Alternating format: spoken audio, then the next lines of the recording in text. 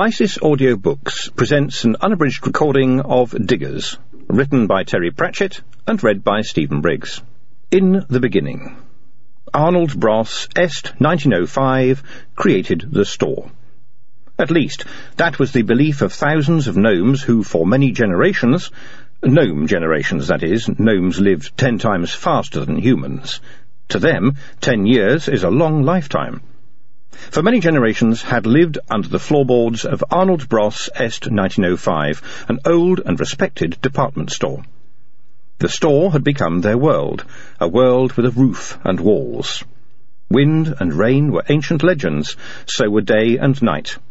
Now there were sprinkler systems and air conditioners, and their small, crowded lives ticked to the clock of opening time and closing time. The seasons of their year were January sales, spring into spring fashions, summer bargains, and Christmas fair. Led by the abbot and priesthood of the stationery, they worshipped, in a polite, easy-going sort of way so as not to upset him, Arnold Bros. Est 1905, who they believed had created everything, i.e., the store and all the contents therein. Some families of gnomes had grown rich and powerful, and took the names, more or less, of the store departments they lived under, the Delicatessen, the Ironmongery, the Haberdashery. And into the store, on the back of a lorry, came the last gnomes to live outside. They knew what wind and rain were, all right. That's why they'd try to leave them behind. Among them was Masklin, Rat Hunter, and Granny Morky and Grimmer, although they were women and didn't really count, and of course there was the Thing. No one quite understood the Thing. Masklin's people had handed it down for centuries. It was very important, that was all they knew. When it came near the electricity in the store, it was able to talk. It said it was a thinking machine from a ship which, thousands of years before, had brought the gnomes from a far store, or possibly star. It also said it could hear electricity talk, and one of the things the electricity was saying was that the store would be demolished in three weeks. It was Masklin who suggested that the gnomes should leave the store in a hurry. He found, oddly enough, that actually working out how you could drive a giant lorry was the easiest part. The hardest part was getting people to believe that they could do it. He wasn't the leader. He'd have liked to be a leader. A leader could stick his chin out and do brave things. What Masklin had to do was argue and persuade and sometimes lie very slightly. He found it was often easier to get people to do things if you let them think it was their idea. Ideas. That was the tricky bit, all right. And there were lots of ideas that they needed. They needed to learn to work together. They needed to learn to read. They needed to think that female gnomes were, well, nearly as intelligent as males, although everyone knew that really this was ridiculous, and that if females were encouraged to think too much, their brains overheated. Anyway, it all worked. The lorry did leave the store just before it mysteriously burned down, and, hardly damaging anything very much, was driven out into the country. The gnomes found an abandoned quarry tucked into a hillside and moved into the ruined buildings. And then they knew everything was going to be all right. There was going to be, they'd heard, a bright new dawn. Of course, most gnomes had never seen a dawn, bright or otherwise, and if they had, they would have known that the trouble with bright new dawns is that they're usually followed by cloudy days, with scattered showers. Six months passed. This is the story of the winter. This is the great battle. This is the story of the awakening of Jekub, the dragon in the hill, with eyes like great eyes, and a voice like a great voice, and teeth like great teeth. But the story didn't end there. It didn't start there either. The sky blew a gale. The sky blew a fury. The wind became a wall sweeping across the country, a giant stamping on the land. Small trees bent, big trees broke. The last leaves of autumn whirred through the air like lost bullets. The rubbish heap by the gravel pits was deserted. The seagulls that patrolled it had found shelter somewhere, but it was still full of movement. The wind tore into the heap as though it had something particular against old detergent boxes and leftover shoes. Tins rolled into the ruts and clanked miserably, while lighter bits of rubbish flew up and joined the riot in the sky. Still the wind burrowed, papers rustled for a while, then got caught and blasted away. Finally, one piece that had been flapping for hours tore free and flew up into the booming air. It looked like a large white bird with oblong wings. Watch it tumble. It gets caught on a fence, but very briefly. Half of it tears off, and now, that much lighter, it pinwheels across the furrows of the field beyond. It is just gathering speed when a hedge looms up and snaps it out of the air like a fly. Chapter 1 And in that time were strange happenings. The air moved harshly, the warmth of the sky grew less. On some mornings the tops of puddles grew hard and cold.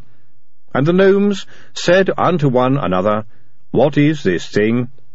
From the Book of Gnome, Quarries 1, verses 1 to 2. Winter, said Masklin firmly. It's called winter. Abbot Gerda frowned at him. You never said it would be like this, he said. It's so cold. Call this cold, said Granny Morky. Cold? This ain't cold. You think this is cold? You wait till it gets really cold. She was enjoying this, Masklin noticed. Granny Morky always enjoyed doom. It was what kept her going. It'll be really cold then when it gets cold. You get real frosts and, and, and water comes down at the sky in frozen bits. She leaned back triumphantly. What do you think of that then, eh? Uh, you don't have to use baby talk to us, sighed Gerda. We can read, you know. We know what snow is. Yes, said Dorcas. There used to be cards with pictures on back in the store, every time Christmas fair came round. We know about snow. It's glittery. Uh, you get robins, agreed Gerda. Um, there's, uh, actually, there's a bit more to it than that, Masklin began. Dorcas waved him into silence. I don't think we need to worry, he said. We're well dug in, the food stores are looking satisfactory, and we know where to go to get more if we need it. Unless anyone's got anything else to raise, why don't we close the meeting? Everything was going well, or, at least, not very badly. Oh, there was still plenty of squabbling and rows between the various families, but that was gnomish nature for you. That's why they'd set up the council, which seemed to be working. Gnomes liked arguing. At least the council of drivers meant that they could argue without hardly ever hitting one another. Funny thing, though, back in the store the great departmental families had run things, but now all the families were mixed up, and anyway there were no departments in a quarry. But by instinct, almost, gnomes liked hierarchies. The world had always been neatly divided between those who told people what to do and those who did it. So, in a strange way, a new set of leaders were emerging. The drivers. It depended on where you had been during the long drive. If you were one of the ones who had been in a lorry cab, then you were a driver. All the rest were just passengers. No one talked about it much. It wasn't official or anything. It was just that the bulk of gnome kind felt that anyone who could get the truck all the way here was the sort of person who knew what they were doing. Being a driver wasn't necessarily much fun. Last year, before they'd found the store, Masklin had to hunt all day. Now he only hunted when he felt like it. The younger store gnomes liked hunting, and apparently it wasn't right for a driver to do it. They mined potatoes, and there'd been a big harvest of corn from a nearby field, even after the machines had been round. Masklin would have preferred them to grow their own food, but the gnomes didn't seem to have the knack of making seeds grow in the rock-hard ground of the quarry. But they were getting fed. That was the main thing. Around him he could feel thousands of gnomes living their lives, raising families, settling down. He wandered back to his own burrow, down under one of the derelict quarry sheds. After a while he reached a decision and pulled the thing out of its own hole in the wall. None of its lights were on. They wouldn't do that until it was close to electricity wires, when it would light up and be able to talk. There were some in the quarry, and Dorcas had got them working, Masklin hadn't taken the thing to them, though. The solid black box had a way of talking that always made him unsettled. He was pretty certain it could hear, though. Old uh, died last week, he said after a while. We were a bit sad, but after all he was very old and he just died. I mean, nothing ate him first or ran him over or anything. Masklin's little tribe had once lived in a motorway embankment beside rolling countryside which was full of things that were hungry for fresh gnome. The idea that you could die simply of not being alive any more was a new one to them. So we buried him up on the edge of the potato field, too deep for the plough. The store gnomes haven't got the hang of burial yet, I think. They think he's going to sprout or something. I think they're mixing it up with what you do with seeds. Of course, they don't know about growing things because of living in the store, you see. It's all new to them. They're always complaining about eating food that comes out of the ground. They think it's not natural, and they think the rain is a sprinkler system. I think they think the whole world is just a bigger store. Um, he stared at the unresponsive cube for a while, scraping his mind for other things to say. Anyway, that means Granny Morky is the oldest gnome, he said eventually, and that means she's entitled to a place on the council, even though she's a woman. Abbot Gerda objected to that, but we said, all right, you tell her, and he wouldn't, so she is. Um, he looked at his fingernails. The thing had a way of listening that was quite off-putting. Everyone's worried about the winter, um, but we've got masses of potatoes stored up, and it's quite warm down here. They've got some funny ideas, though. In the store, they said that when it was Christmas fair time, there was this thing that came called Santa Claus. I just hope it hasn't followed us, that's all. Um, he scratched an ear. All in all, um, everything's going all right. Um, he leaned closer. You know what that means?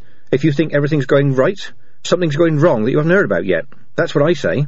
Um, the Black Cube managed to look sympathetic. Everyone says I worry too much. I don't think it's possible to worry too much. Um, he thought some more. Um, I, I think that's about all the news for now. He lifted the thing up and put it back in its hole. He'd wondered whether to tell it about his argument with Grimmer, but that was, well, personal. It was all that reading books, that was what it was. He shouldn't have let her learn to read, filling her head with stuff she didn't need to know. Gerda was right, women's brains did overheat. Grimmer's seemed to be boiling hot the whole time these days. He'd gone and said, Look, now everything was settled down more, it was time they got married like the store names did, with the abbot muttering words and everything. And she'd said she wasn't sure. So he'd said, It doesn't work like that. You get told, you get married, that's how it's done.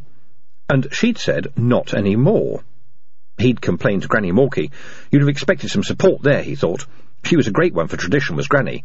He'd said, Granny, Grimmer isn't doing what I tell her. And she'd said, Good luck to her.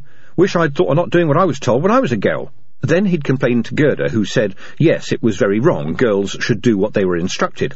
And Masklin had said, right then, you tell her. And Gerda had said, well, uh, she's got a real temper on her, perhaps it would be better to leave it a bit, and these were, after all, changing times. Changing times, well, that was true enough. Masklin had done most of the changing. He'd had to make people think in different ways to leave the store. Changing was necessary. Change was right. He was all in favour of change. What he was dead against was things not staying the same. His spear was leaning in the corner. What a pathetic thing it was, now. Just a, a bit of flint held onto the shaft with a twist of binder twine. They'd brought saws and things from the store. They could use metal these days. He stared at the spear for some time. Then he picked it up and went out for a long, serious think about things and his position in them. Or, as other people would have put it, a good sulk. The old quarry was about halfway up the hillside. There was a steep turf slope above it, which in turn became a riot of bramble and hawthorn thicket. There were fields beyond.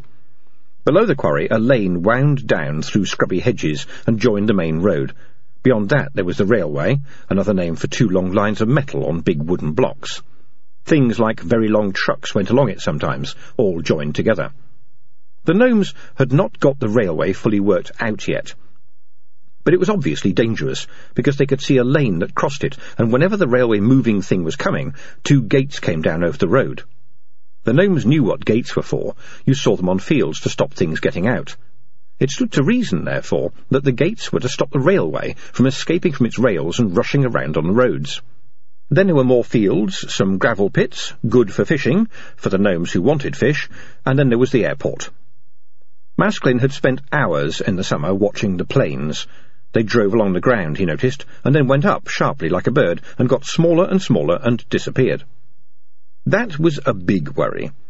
Masklin sat on his favourite stone in the rain that was starting to fall, and started to worry about it. So many things were worrying him these days, he had to stack them up, but below all of them was this big one.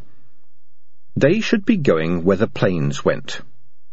That was what the thing had told him, when it was still speaking to him. The gnomes had come from the sky, Up above the sky, in fact, which was a bit hard to understand, because surely the only thing above the sky was more sky, and they should go back. It was their... something beginning with D. Density. Their density. Worlds of their own, they once had, and somehow they'd got stuck here. But, uh, this was the worrying part, the ship thing, the aeroplane that flew through the really high sky, between the stars, was still up there somewhere. The first gnomes had left it behind when they came down here in a smaller ship, and it had crashed, and they hadn't been able to get back. And he was the only one that knew. The old abbot, the one before Gerda, he had known. Grimmer and Dorcas and Gerda all knew some of it, but they had busy minds and they were practical people, and there was so much to organise these days. It was just that everyone was settling down. We're going to turn this into our little world, just like in the store, Masklin realised. They thought the roof was the sky, and we think the sky is the roof. We'll just stay, and... There was a truck coming up the quarry road. It was such an unusual sight that Masklin realised he'd been watching it for a little while without really seeing it at all. There was no one on watch. Why wasn't anyone on watch? I said there should always be someone on watch. Half a dozen gnomes scurried through the dying bracken toward the quarry gate. It was Sacco's turn, muttered Angelo. No, it wasn't, hissed Sacco. You remember, yesterday you asked me to swap because... I don't care whose turn it was, shouted Masklin. There was no one there, and there should have been, right? Sorry, Masklin. Yeah, sorry, Masklin. They scrambled up a bank and flattened themselves behind a tuft of dried grass. It was a small truck, as far as trucks went. A human had already climbed out of it and was doing something to the gates leading into the quarry. It's a Land Rover, said Angelo smugly. He'd spent a long time in the store reading everything he could about vehicles before the long drive. He liked them. It's not really a truck, it's more to carry humans over... That human is sticking something on the gate, said Masklin. On our gate, said Sacco, disapproving. A bit odd, said Angelo. The man sleepwalked in the slow, ponderous way that humans did back to the vehicle. Eventually, it backed around and roared off. All the way up here just to stick a bit of paper on the gate, said Angelo, as the gnome stood up. That's humans for you. Masklin frowned. Humans were big and stupid, that was true enough, but there was something unstoppable about them, and they seemed to be controlled by bits of paper. Back in the store, a piece of paper had said the store was going to be demolished, and, sure enough, it had been demolished. You couldn't trust humans with bits of paper. He pointed to the rusty wire netting, an easy climb for an agile gnome. Sacco, he said, you'd better fetch it down.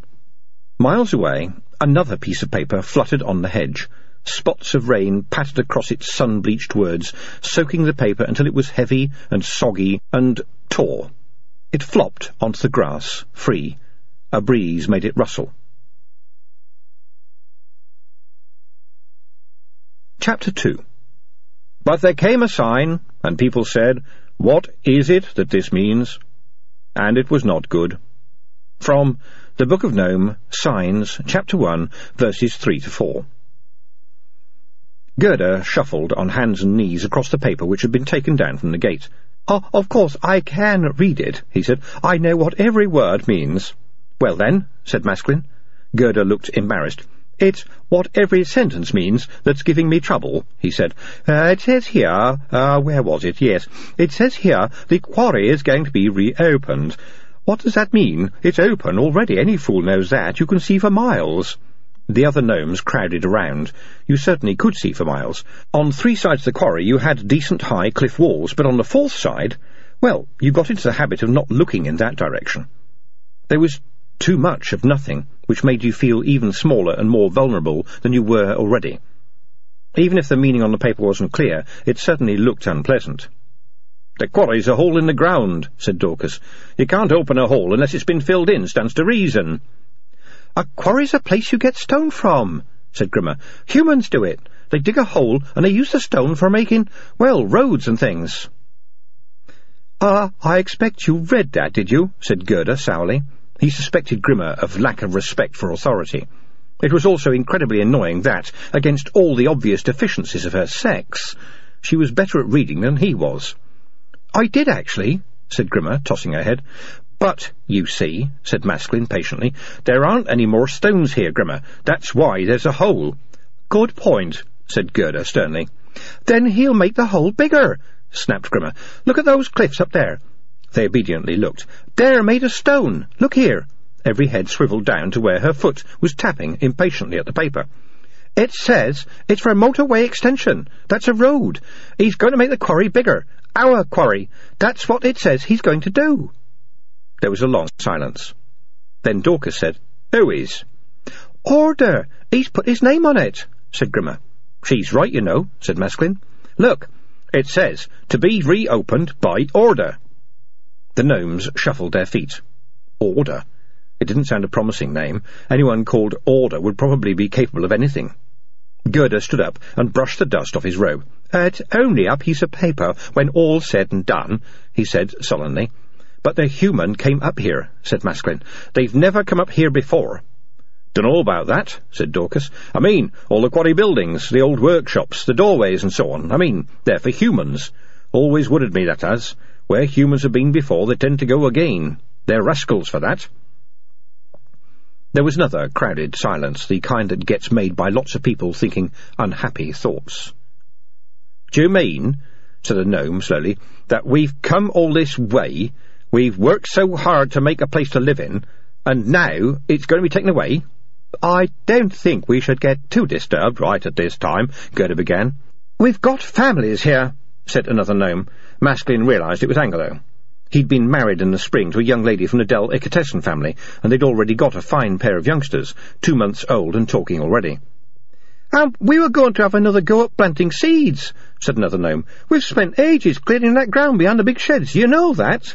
Gerda raised his hand imploringly.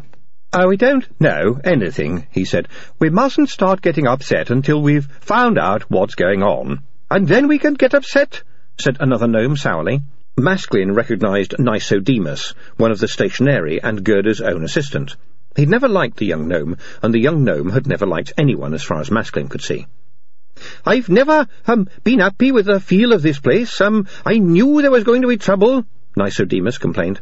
Now, now, Nicodemus, said Gerda, there's no cause to go talking like that. We'll have another meeting of the council, he added. That's what we'll do. The crumpled newspaper lay beside the road. Occasionally a breeze would blow it randomly along the verge, while a few inches away the traffic thundered past.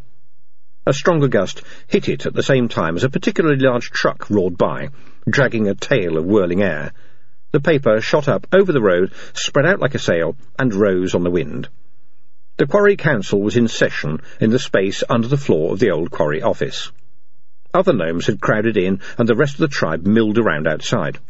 Look, said Angelo. There's a big old barn up on the hill, the other side of the potato field. It wouldn't hurt to take some stores up there. Make it ready, you know, just in case. Then, if anything does happen, we've got somewhere to go. The quarry buildings don't have spaces under the floors except in the canteen and the office, said Dorcas gloomily. It's not like the store. There aren't many places to hide. We need the sheds. If humans come here, we'll have to leave. So, the barn will be a good idea, won't it? repeated Angelo. There's a man on a tractor who goes up there sometimes, said Masklin. We could keep out of his way. Anyway, said Angelo, looking around at rows of faces, maybe the humans will go away again. Perhaps they'll just take their stone and go, and we can come back. We could send someone to spy on them every day. It seems to me you've been thinking about this barn for some time, said Dorcas. Me and Masklin talked about it one day when we were hunting up there, said Angelo. Didn't we, Masklin? Hmm? said Masklin, who was staring into space.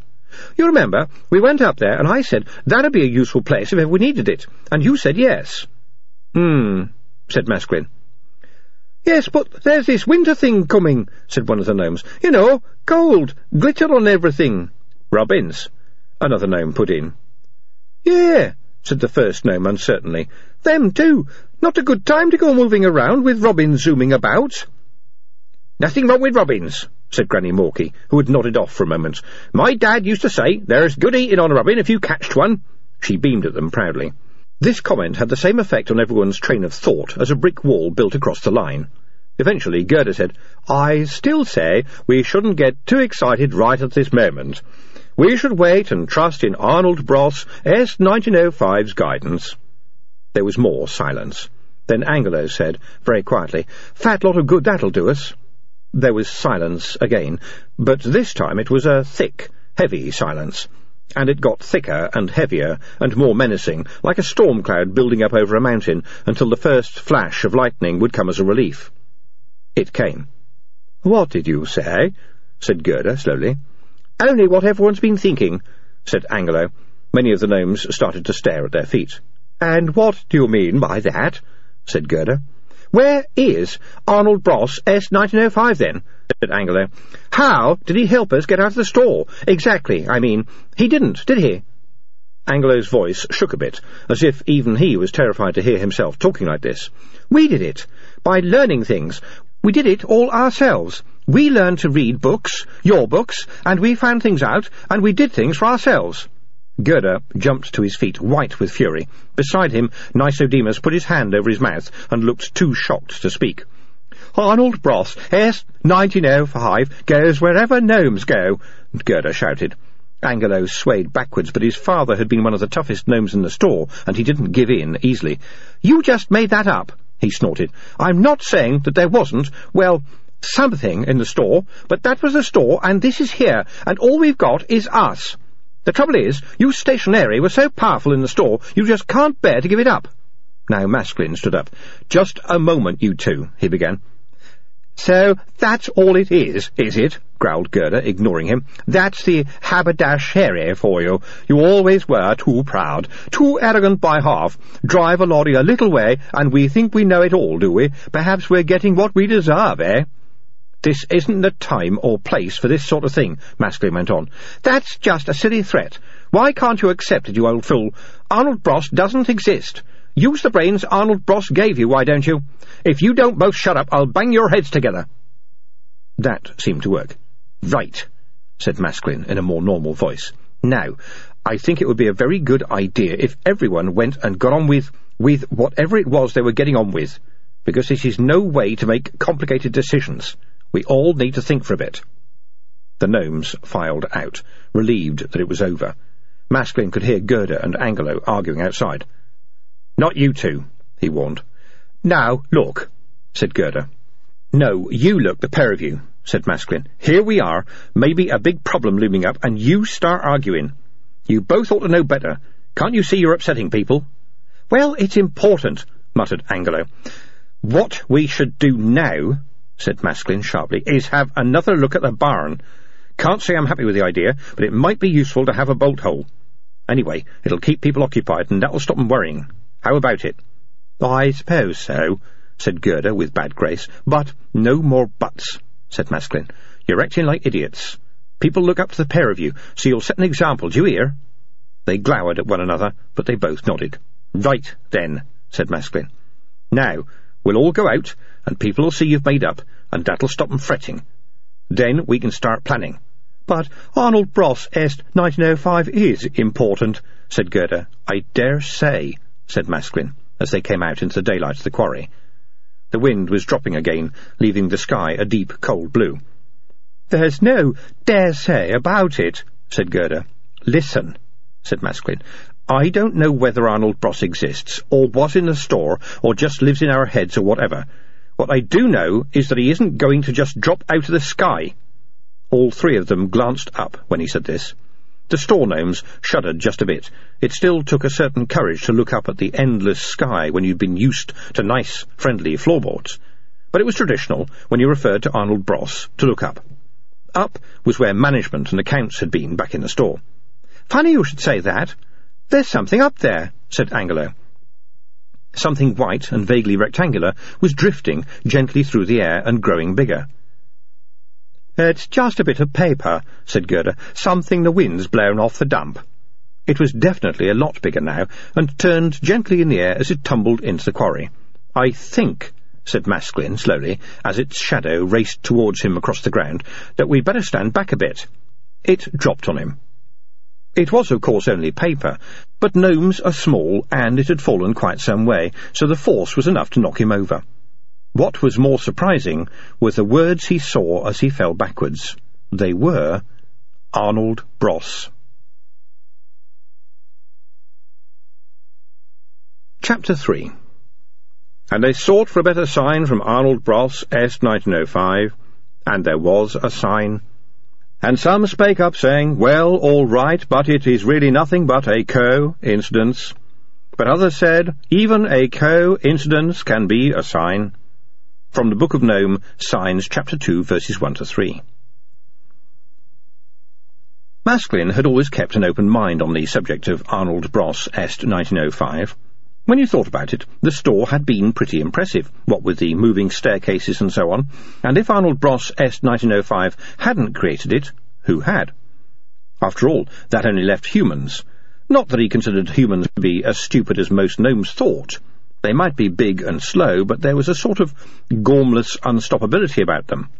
They could certainly be taught to do simple tasks. On the other hand, the world was miles across and full of complicated things. It seemed to be asking a lot of Arnold Bros. Est 1905 to create the whole thing. So Masklin had decided not to decide anything about Arnold Bros. Est 1905 in the hope that if there was an Arnold Bros. Est 1905 and he found out about Masklin, he wouldn't mind much. The trouble with having an open mind, of course, is that people will insist on coming along and trying to put things in it. The faded newspaper from the sky had been carefully spread out on the floor of one of the old sheds. It was covered in words. Most of them even Masklin could understand, but even Grimma had to admit that she couldn't guess at what they were supposed to mean when you read them all in one go. School Slams Shock Probe, for example, was a bit of a mystery. So was Fury over Poll Tax Rebel. So was Play Super Bingo in your Swordaway, Blackbury, Evening, Post and Gazette. But they were mysteries that would have to wait. What all eyes were staring at was the quite small area of words, about gnome-sized, under the word people. That means people, said Grimma. Really? said Masklin. And the lettering underneath it says, fun-loving, globe-trotting millionaire playboy Richard Arnold will be jetting to the Florida sunshine next week to witness the launch of ARNSAT 1, the first community, she hesitated, Cations Sat Elite, built by Arnco International Group. This leap into the future comes only a few months after the dest ruction by fire of the gnomes, who'd been silently reading along with her, shivered. Arnold Bros, the store here in Blackbury, which was the first of the Arnold chain and the basis of the multi-million trading group. It was founded in 1905 by Alderman Frank W. Arnold and his brother Arthur, grandson Richard, 39, who will her voice faded to a whisper. Grandson Richard, thirty-nine, repeated Gurder, his face bright with triumph. What do you think of that, eh? What does globe-trotting mean? said Masklin. Well, globe means ball, and trotting is a sort of slow running, said Grimma. So he runs slowly on a ball. Globe-trotting. This is a message from Arnold Bros, said Gurder ponderously. It's been sent to us. A message. A message meant, um, for us, said Nicodemus, who was standing just behind Gurder. He held up his hands. Yea, all the way from... Yes, yes, Nicodemus, said Gurder. Do be quiet, there's a good chap. He gave Masklin an embarrassed look. Don't sound very likely running slowly. I mean, you'd fall off. If it was a ball, is what I'm saying, said Masklin. They stared at the picture again. It was made up of tiny dots. They showed a smiling face. It had teeth and a beard. Uh, it stands to reason, said Gurder more confidently. Arnold Bros, Est 1905, has sent grandson 39 to... to... And these two names you found founded the store, said Masklin. I don't understand that. I thought Arnold Bros, Est 1905 created the store. Then these two people founded it, said Gurder. That makes sense. It was a big store. It'd be easy to find, even if you weren't looking for it. He looked slightly uneasy. Lost it and found it, he said half to himself. That makes sense, yes. Okay, said Dorcas. So let's just see where we've got to. The message is, isn't it, that grandson 39 is in Florida, whatever that is. Going to be in Florida, said Grimma. It's a type of coloured juice, volunteered a gnome. I know, 'cause one day, when we went over to the dump, there was this old carton, and it said Florida orange juice. I read it, he added proudly. Going to be in this orange-coloured juice, so I'm given to understand, said Dorcas doubtfully, running slowly on a ball and jetting whatever that is, and liking it, apparently. The gnomes fell silent while they thought about this. Holy utterances are often difficult to understand, said Gurder gravely. This must be a powerful holy one, said Dorcas. I think it's just a coincidence, said Angelo loftily. This is just a story about a human being, like in some of the books we read. And how many humans could even stand on a ball, let alone run slowly on it? demanded Gurder. All right, said Angelo, but what are we going to do then? Gurder's mouth opened and shut a few times. Why, uh, it's obvious, he said uncertainly. Tell us, then, said Angelo sourly. Well, uh, it's, um, obvious. We must go to, uh, the, the place where the orange juice is. Yes, said Angelo, and, uh, and find grandson, thirty-nine, which should be easy, you see, because we've got his picture. Yes, said Angelo. Gurder gave him a haughty look. Remember the commandment that Arnold Bros, S. 1905, put up in the store, he said. Did it not say, if you do not see what you require, please ask? The gnomes nodded. Many of them had seen it, and the other commandments. Everything must go. And, by the moving stairs, dogs and pushchairs must be carried. They were the words of Arnold Bros, Est 1905. You couldn't really argue with them. But on the other hand, well, that had been in the store, and this was here. And, said Angelo, Gurder began to sweat. Well, uh, and then we ask him to let us be left alone in the quarry. There was an awkward silence. Then Angelo said, That sounds about the most half-baked. What does jetting mean? said Grimma. Is it anything to do with jet? A jet is a kind of aircraft, said Angelo, the transport expert. So jetting means to go like an aircraft, or in an aircraft, said Grimma.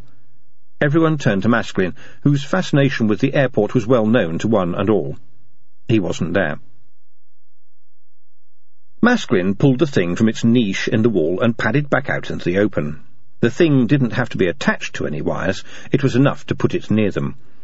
There was electricity in the old manager's office. He ran across the empty alley between the tumble-down buildings and squeezed his way in through a crack in the sagging door. Then he placed the box in the middle of the floor and waited. It always took some while for the thing to wake up. Its lights flickered at random, and it made odd beeping noises. Masklin supposed it was the machine's equivalent of a gnome getting up in the morning. Eventually it said, Who is there? It's me, said Masklin. Masklin. Look, I need to know what the words communications satellite mean. I've heard you use satellite before. You said the moon is one, didn't you? Yes. But communications satellites are artificial moons. They are used for communications. Communications means the transferring of information, in this case by radio and television. What's television? said Masklin. A means of sending pictures through the air. Does this happen a lot? All the time. Masklin made a mental note to look out for any pictures in the air. I see, he lied. So these satellites, where are they exactly? In the sky. I don't think I've ever seen one, said Masklin doubtfully. There was an idea forming in his mind. He wasn't quite sure yet. Bits and pieces of things he'd read and heard were coming together. The important thing was to let them take their own time and not frighten them away. They are in orbit many miles up. There are a great many above this planet, said the thing. How do you know that? I can detect them. Oh. Masklin stared at the flickering lights. If they are artificial, does that mean they're not real? he said.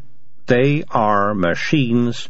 They are usually built on the planet and then launched into space. The idea was nearly there now. It was rising like a bubble. Space is where our ship is, you said. That is correct.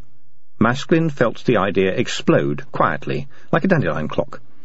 If we knew where one of these things was going to be flown into space, he said, speaking quickly before the words had time to escape. And we could sort of hang on to the sides or whatever, or maybe drive it like the truck, and we took you with us, then we could jump off when we got up there and go and find this ship of ours, couldn't we? The lights on top of the thing moved oddly, into patterns Masklin had never seen before. This went on for quite a while before it spoke again. When it did, it sounded almost sad. Do you know how big space is? it said. No, said Masklin politely. It's pretty big, isn't it? Yes. However, it might be possible for me to detect and summon the ship if I was taken above the atmosphere. But do you know what the words oxygen supply mean? No. Space suit? No. It is very cold in space. Well, couldn't we sort of jump around a bit to keep warm? said Masklin desperately. I think you do not appreciate what it is that space contains. What's that, then? Nothing. It contains nothing. And everything. But there is very little everything, and more nothing than you could imagine. It's still worth a try, though, isn't it? What you are proposing is an extremely unwise endeavour, said the thing. Yes, but, you see, said Masklin firmly, if I don't try, then it's always going to be like this. We're always going to escape and find somewhere new, and just when we're getting the hang of it all, we'll have to go again. Sooner or later we must find somewhere that we can know really belongs to us. Dorcas is right. Humans get everywhere. Anyway, you were the one who told me that our home was up there somewhere. This is not the right time. You are ill-prepared. Masklin clenched his fists. I'll never be well prepared. I was born in a hole thing, a muddy hole in the ground. How can I ever be well prepared for anything? That's what being alive is, thing. It's being badly prepared for everything. Because you only get one chance, thing. You only get one chance, and then you die, and they don't let you go around again after you've got the hang of it. Do you understand, thing? So, we'll try it now. I order you to help. You're a machine, and you must do what you're told. The lights formed a spiral. You're learning fast, said the thing. Chapter 4 And in a voice like thunder, the great Masklin said unto the thing, Now is the time to go back to our home in the sky, or we will for ever be running from place to place. But none must know what I intend, or they will say, Ridiculous! Why go to the sky when we have problems right here? Because that is how people are. From the Book of Nome, Quarries, Chapter 2, verses 3 to 6. Gurder and Angelo were having a blazing row when Masklin got back. He didn't try to interrupt. He just put the thing down on the floor and sat down next to it and watched them. Funny how people needed to argue. The whole secret was not to listen to what the other person was saying, Masklin had noticed. Gurder and Angelo had really got the hang of that. The trouble was that neither of them was entirely certain he was right, and the funny thing was that people who weren't entirely certain they were right always argued much louder than other people, as if the main person they were trying to convince was themselves. Gurder was not certain, not entirely certain, that Arnold Bros S-1905 really existed, and Angelo wasn't entirely certain that he didn't. Eventually, Angelo noticed Masklin. You tell him, Masklin, he said. He wants to go and find Grandson 39. Do you? Where do you think we should look? Masklin asked Gurder. The airport, said Gurder. You know that. Jetting in a jet. That's what he'll do. But we know the airport, said Angelo. I've been up to the fence several times. Humans go in and out of it all day. Grandson 39 looks just like them. He could have got already. He could be in the juice by now. You can't believe words that just drop out of the sky. He turned to Masklin again. Masklin's a steady lad, he said. He'll tell you. You tell him, Masklin, he said. You listen to him, Gurder. He thinks about things Masklin does. At a time like this... Let's go to the airport, said Masklin. There, said Angelo. I told you, Masklin isn't the kind of gnome to... What? Let's go to the airport and watch. Angelo's mouth opened and shut silently. But, but, he managed. It must be worth a try, said Masklin. But It's all just a coincidence, said Angelo. Masklin shrugged. Then we'll come back. I'm not suggesting we all go, just a few of us. But supposing something happens while we're gone? It'll happen anyway, then. There's thousands of us.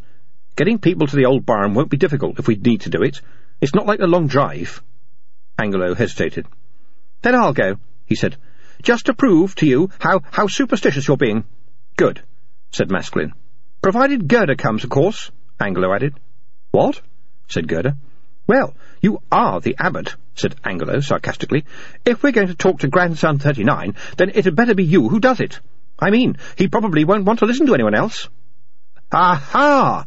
shouted Gurder. You think I won't come? It'll be worth it just to see your face. That's settled then, said Masklin calmly. And now, I think we'd better see about keeping a special watch on the road. And some teams had better go into the old barn. And it would be a good idea to see what people can carry, just in case, you know. Grimma was waiting for him outside. She didn't look happy. I know you, she said. I know the kind of expression you have when you're getting people to do things they don't want to do. What are you planning? They strolled into the shadow of a rusting sheet of corrugated iron. Masklin occasionally squinted upwards. This morning he'd thought the sky was just a blue thing with clouds. Now it was something that was full of words and invisible pictures and machines whizzing around. Why was it that the more you found out, the less you really knew? Eventually he said, I can't tell you. I'm not quite sure myself. It's to do with the thing, isn't it? Yes, look, if I'm away for, um, a little bit longer than... She stuck her hands on her hips. I'm not stupid, you know, she said. Orange-coloured juice, indeed. I've read nearly every book we brought out of the store. Florida is a... a...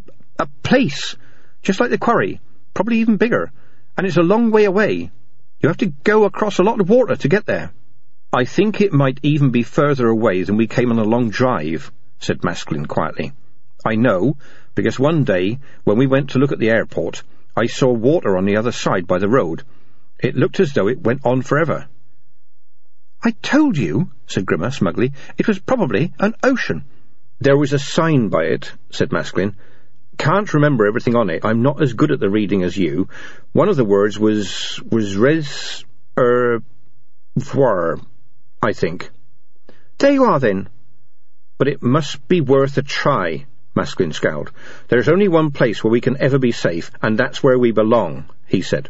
Otherwise, we'll always have to keep running away. Well, I don't like it, said Grimma. But you said you didn't like running away, said Masklin. There isn't an alternative, is there? Let me just try something. If it doesn't work, then we'll come back. But supposing something goes wrong? Supposing you don't come back, I'll... Grimma hesitated. Yes, said Masklin, hopefully. I'll have a terrible job explaining things to people, she said firmly. It's a silly idea. I don't want to have anything to do with it. Oh.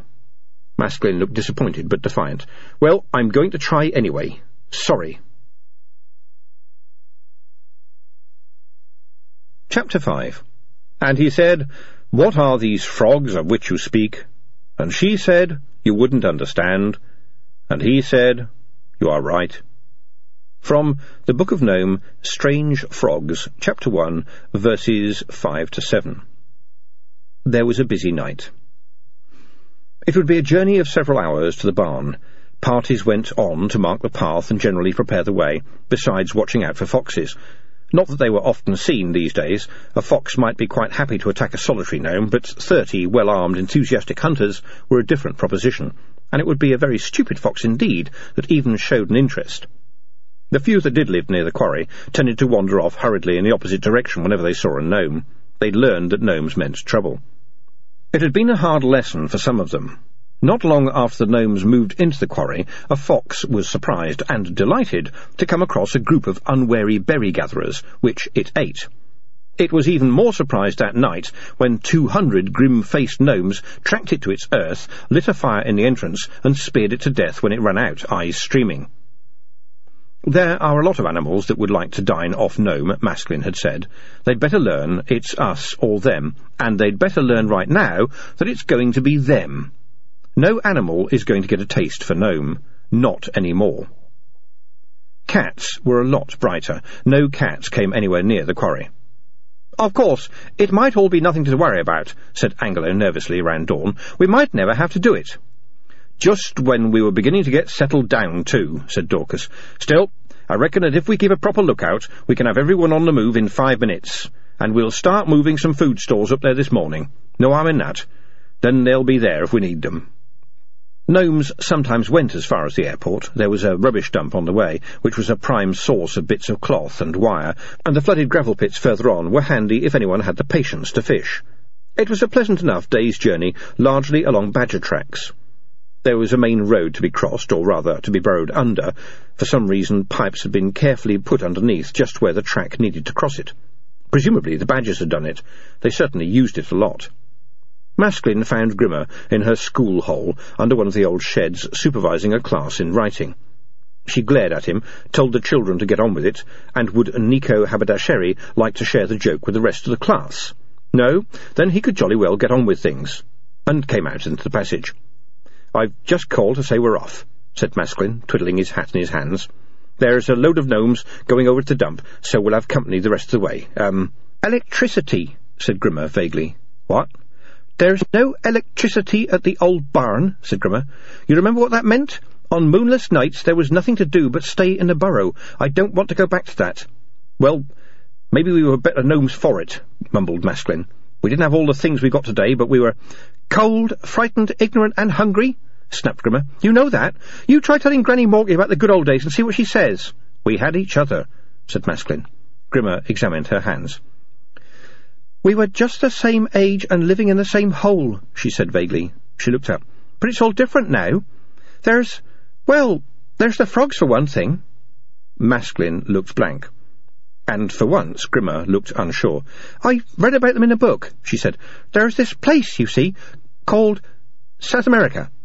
And there's these hills where it's hot and rains all the time, and in the rainforests there are these very tall trees, and right in the top branches of the trees there are these, like, great big flowers called bromeliads, and water gets into the flowers and makes little pools, and there's a type of frog that lays eggs in the pools, and tadpoles hatch and grow into new frogs, and these little frogs live their whole lives in the flowers, right at the top of the trees, and don't even know about the ground, and the world is full of things like that, and now I know about them, and I'm never ever going to be able to see them, and then you, she gulped for breath, want me to come and live with you in a hole and wash your socks?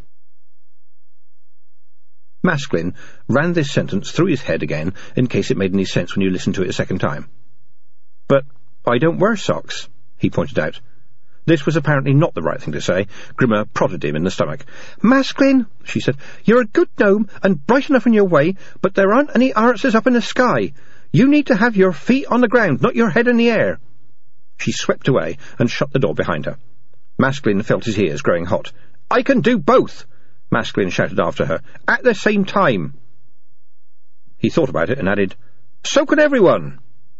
He stamped off along the tunnel. Bright enough in his way. Gurder was right. Universal education was not a good idea. He'd never understand women, he thought, even if he lived to be ten. Gurder had turned over the leadership of the stationery to Nicodemus. Masklin felt less than happy about this. It wasn't that Nicodemus was stupid, quite the reverse. He was clever in a bubbling, sideways way that Masklin distrusted. He always seemed to be bottling up excitement about something, and when he spoke the words always rushed out, with Nicodemus putting ums in the flow of words so that he could catch his breath without anyone having the chance to interrupt him. He made Masklin uneasy. He mentioned this to Gurder. Nicodemus might be a bit over-enthusiastic, said Gurder, but his heart's in the right place. What about his head? Listen, said Gurder. We know each other well enough, don't we? We understand one another, wouldn't you say? Yes, why? Then I'll let you make the decisions that affect all gnomes' bodies, said Gurder, his voice just one step away from being threatening. And you'll let me make the decisions that affect all gnomes' souls. Fair enough? And so they set off. The goodbyes, the last-minute messages, the organisation, and, because they were gnomes, the hundred little arguments are not important. They set off. Life at the quarry began to get back to something like normal. No more trucks came up to the gate. Dorcas sent a couple of his more agile young assistant engineers up the wire netting, just in case, to stuff the rusty padlock full of mud. He also ordered a team of gnomes to twist wire round and round the gates as well. Not that it'd hold them very long, he said. Not if they were determined. The council, or what was left of it now, nodded wisely, although frankly none of them understood or cared much about mechanical things. The truck came back the same afternoon. The two gnomes watching the lane hurried back into the quarry to report. The driver had fiddled with the padlock for a while, pulled at the wire, and then driven off. And it said something, said Sacco.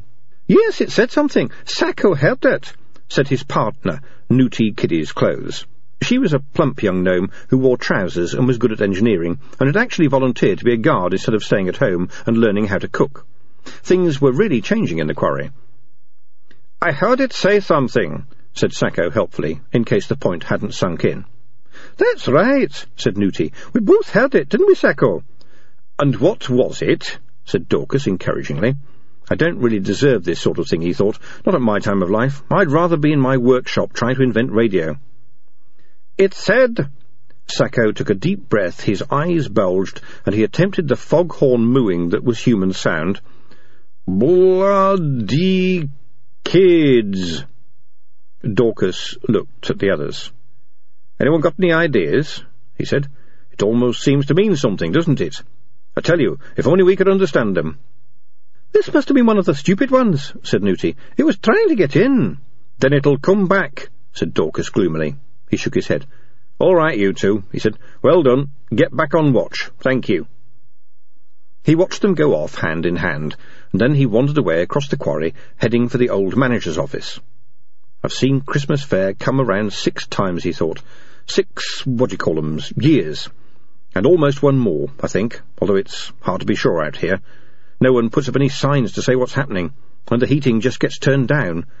Seven years old, just about the time when a gnome ought to be taking it easy. And I'm out here, where there aren't any proper walls to the world, and the water goes cold and hard as glass some mornings, and the ventilation and heating systems are quite shockingly out of control. Of course, he pulled himself together a bit. As a scientist, I find all these phenomena extremely interesting. It would just be nicer to find them extremely interesting from somewhere nice and snug, inside. Ah, inside, that was the place to be. Most of the older gnomes suffered from the fear of the outside, but no one liked to talk about it much. It wasn't too bad in the quarry with its great walls of rock. If you didn't look up too much and avoided the fourth side with its terribly huge views across the countryside, you could almost believe you were back in the store. Even so, most of the older gnomes preferred to stay in the sheds, or in the cosy gloom under the floorboards. That way you avoided this horrible, exposed feeling, the dreadful sensation that the sky was watching you. The children seemed to quite like the outside, though. They weren't really used to anything else. They could just about remember the store, but it didn't mean much to them. They belonged outside. They were used to it. And the young men who went out hunting and gathering, well, Young men liked to show how brave they were, didn't they? Especially in front of other young men, and young women. Of course, Dorcas thought, as a scientist and rational thinking gnome, I know we weren't really intended to live under floorboards the whole time. It's just that, as a gnome who is probably seven years old and feeling a bit creaky, I've got to admit I'd find it sort of comforting to have a few of the good old signs around the place. Amazing reductions, perhaps, or just a little sign saying, Mammoth Sales starts tomorrow. It wouldn't hurt, and I'm sure I'd feel happier. Which is, of course, totally ridiculous when you look at it rationally. It's just like Arnold Bros. Est 1905, he thought sadly. I'm pretty sure he doesn't exist in the way I was taught he did when I was young. But when you saw things like, if you do not see what you require, please ask, on the walls, you felt that everything was somehow all right. He thought, these are very wrong thoughts for a rational, thinking gnome. There was a crack in the woodwork by the door of the manager's office. Dorcas slipped into the familiar gloom under the floor and padded along until he found the switch. He was rather proud of this idea. There was a big red bell on the outside wall of the office, presumably so that humans could hear the telephone ring when the quarry was noisy. Dorcas had changed the wiring so that he could make it ring whenever he liked. He pressed the switch. Gnomes came running from all corners of the quarry. Dorcas waited as the underfloor space filled up, and then dragged up an empty matchbox to stand on. The human has been back, he announced. It didn't get in, but it'll keep trying. What about your wire? said one of the gnomes. I'm afraid there are such things as wire cutters. So much for your theory about, um, humans being intelligent. An intelligent human would know enough not to go, um, where it wasn't wanted, said Nicodemus sourly. Dorcas liked to see eagerness in a young gnome, but Nicodemus vibrated with a peculiarly hungry kind of eagerness that was unpleasant to see. He gave him as sharp a look as he dared. Humans out there might be different from the ones in the store, he snapped. Anyway, Order must have sent it, said Nicodemus. It's a judgment, um, on us. None of that. It's just a human, said Dorcas. Nicodemus glared at him as he went on. Now, we really should be sending some of the women and children to the... There was the sound of running feet outside, and the gate guards piled in through the crack. It's back! It's back! panted Sacco. The human's back! All right, all right, said Dorcas. Don't worry about it. It can't... No, no, no! yelled Sacco, jumping up and down. It's got a pair of cutter things. It's cuts of wire and the chain that holds the gate shut. And it... They didn't hear the rest of it. They didn't need to. The sound of an engine coming closer said it all. It grew so loud that the shed shook, and then it stopped suddenly, leaving a nasty kind of silence that was worse than noise. There was the crump of a metal door slamming, then the rattle and squeak of the shed door. Then footsteps. The boards overhead buckled and dropped little clouds of dust as great thumping steps wandered around the office. The gnomes stood in absolute silence. They moved nothing except their eyes, but they moved in perfect time to the footsteps, marking the position, flicking backwards and forwards as the human crossed the room above. A baby started to whimper. There was some clicking, and then the muffled sound of a human voice making its usual incomprehensible noises. This went on for some time. Then the footsteps left the office again. The gnomes could hear them crunching around outside, and then more noises, nasty, clinking metal noises. A small gnome said, Ma'am, I want the lavatory, ma'am. Shh! I really mean it, ma'am. Will you be quiet? All the gnomes stood stock still as the noises went on around them. Well, nearly all. One small gnome hopped from one foot to the other, going very red in the face. Eventually the noise stopped. There was the thunk of a truck door closing, the growl of its engine, and the motor noise died away. Dorcas said very quietly, I think perhaps we can relax now. Hundreds of gnomes breathed a sigh of relief. Ma'am? Yes, all right, off you go. And after the sigh of relief, the outbreak of babble, one voice rose above the rest. It was never like this in the store, said Nicodemus, climbing onto a half-brick. I ask you, fellow gnomes, is this what we were led dumb to expect? There was a mumbled chorus of noes and yeses as Nicodemus went on. A year ago we were safe in the store. Do you remember what it was like at Christmas fair? Do you remember what it was like in the food hall? Anyone remember, um, roast beef and turkey? There were one or two embarrassed cheers. Nicodemus looked triumphant. And here we are, at the same time of year. Well, they tell us it's the same time of year, he said sarcastically. And what are we expected to eat? Are knobbly things actually grown in dirt? Um, and the meat isn't proper meat at all. It's just dead animals cut up. Actual dead animals, actually cut up. Is this what you want your, um, children to get used to? Digging up their food? And now they tell us we might even have to go to some barn that hasn't even got proper floorboards for us to live under, as Arnold Bros Est. 1905 intended. Where next, we ask ourselves? Out in a field somewhere, hum? And you know what is the worst thing about all this, I'll tell you. He pointed a finger at Dorcas. The people who seem to be giving us all the orders now are the very people who, um, got us into this trouble in the first place. Now, you just hold on, Dorcas began. You all know I'm right, shouted Nicodemus. Think about it, gnomes. Why, in the name of Arnold Bros, Est. 1905, did we have to leave the store? There were a few more vague cheers, and several arguments broke out among the audience. Don't be stupid, said Dorcas. The store was going to be demolished. We don't know that, shouted Nicodemus. Of course we do, roared Dorcas. Masklin and Gurder saw. And where are they now, eh? They've gone to... well, they've gone to... Dorcas began. He wasn't much good at this, he knew. Why did it have to be him? He preferred messing around with wires and bolts and things. Bolts didn't keep shouting at you. Yes, they've gone. Nicodemus lowered his voice to a sort of angry hiss. Think about it, you gnomes. Use your brains. In the store, we knew where we were. Things worked. Everything was exactly as Arnold Bros, Est. 1905, decreed. And suddenly we're out here. Remember how you used to despise outsiders? Well, the outsiders are us. Um, and now it's all panic again, and it always will be, until we mend our ways and Arnold Bros Est 1905 graciously allows us back into the store as better, wiser gnomes. Let's just get this clear, said the gnome. Are you saying that the abbot lied to us? I'm not saying anything like that, said Nicodemus, sniffing. I'm just presenting you with the facts, um, that's all I'm doing. But, but, but the abbot has gone to get help, said the lady gnome uncertainly. And, and, after all, I'm sure the store was demolished. I mean, we wouldn't have gone to all this trouble otherwise, would we? Um, she looked desperate. I know this, though, said the gnome beside her. Say what you like, but I don't fancy this old barn everyone's talking about. There's not even any electricity there. Yes, and it's in the middle of... Another gnome began, and lowered his voice. You know, things. You know what I'm talking about. Yeah, said an elderly gnome. Things. I've seen 'em. My lad took me blackberrying a month or two back up above the quarry, and I seen 'em.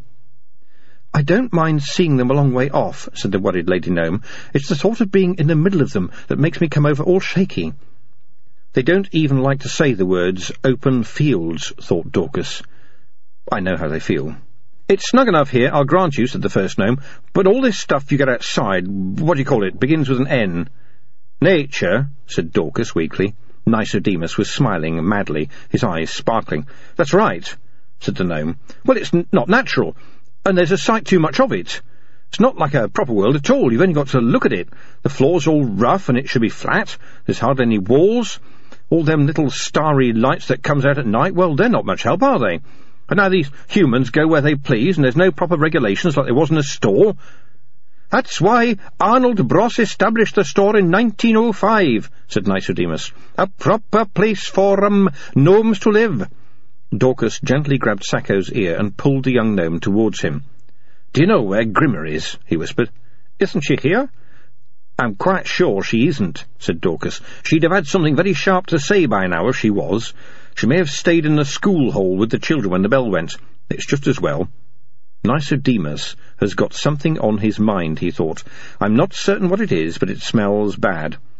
And it got worse as the day wore on, especially since it began to rain. A nasty, freezing sort of rain. Sleet, according to Granny Morky. It was soggy, not really water, but not quite ice. Rain with bones.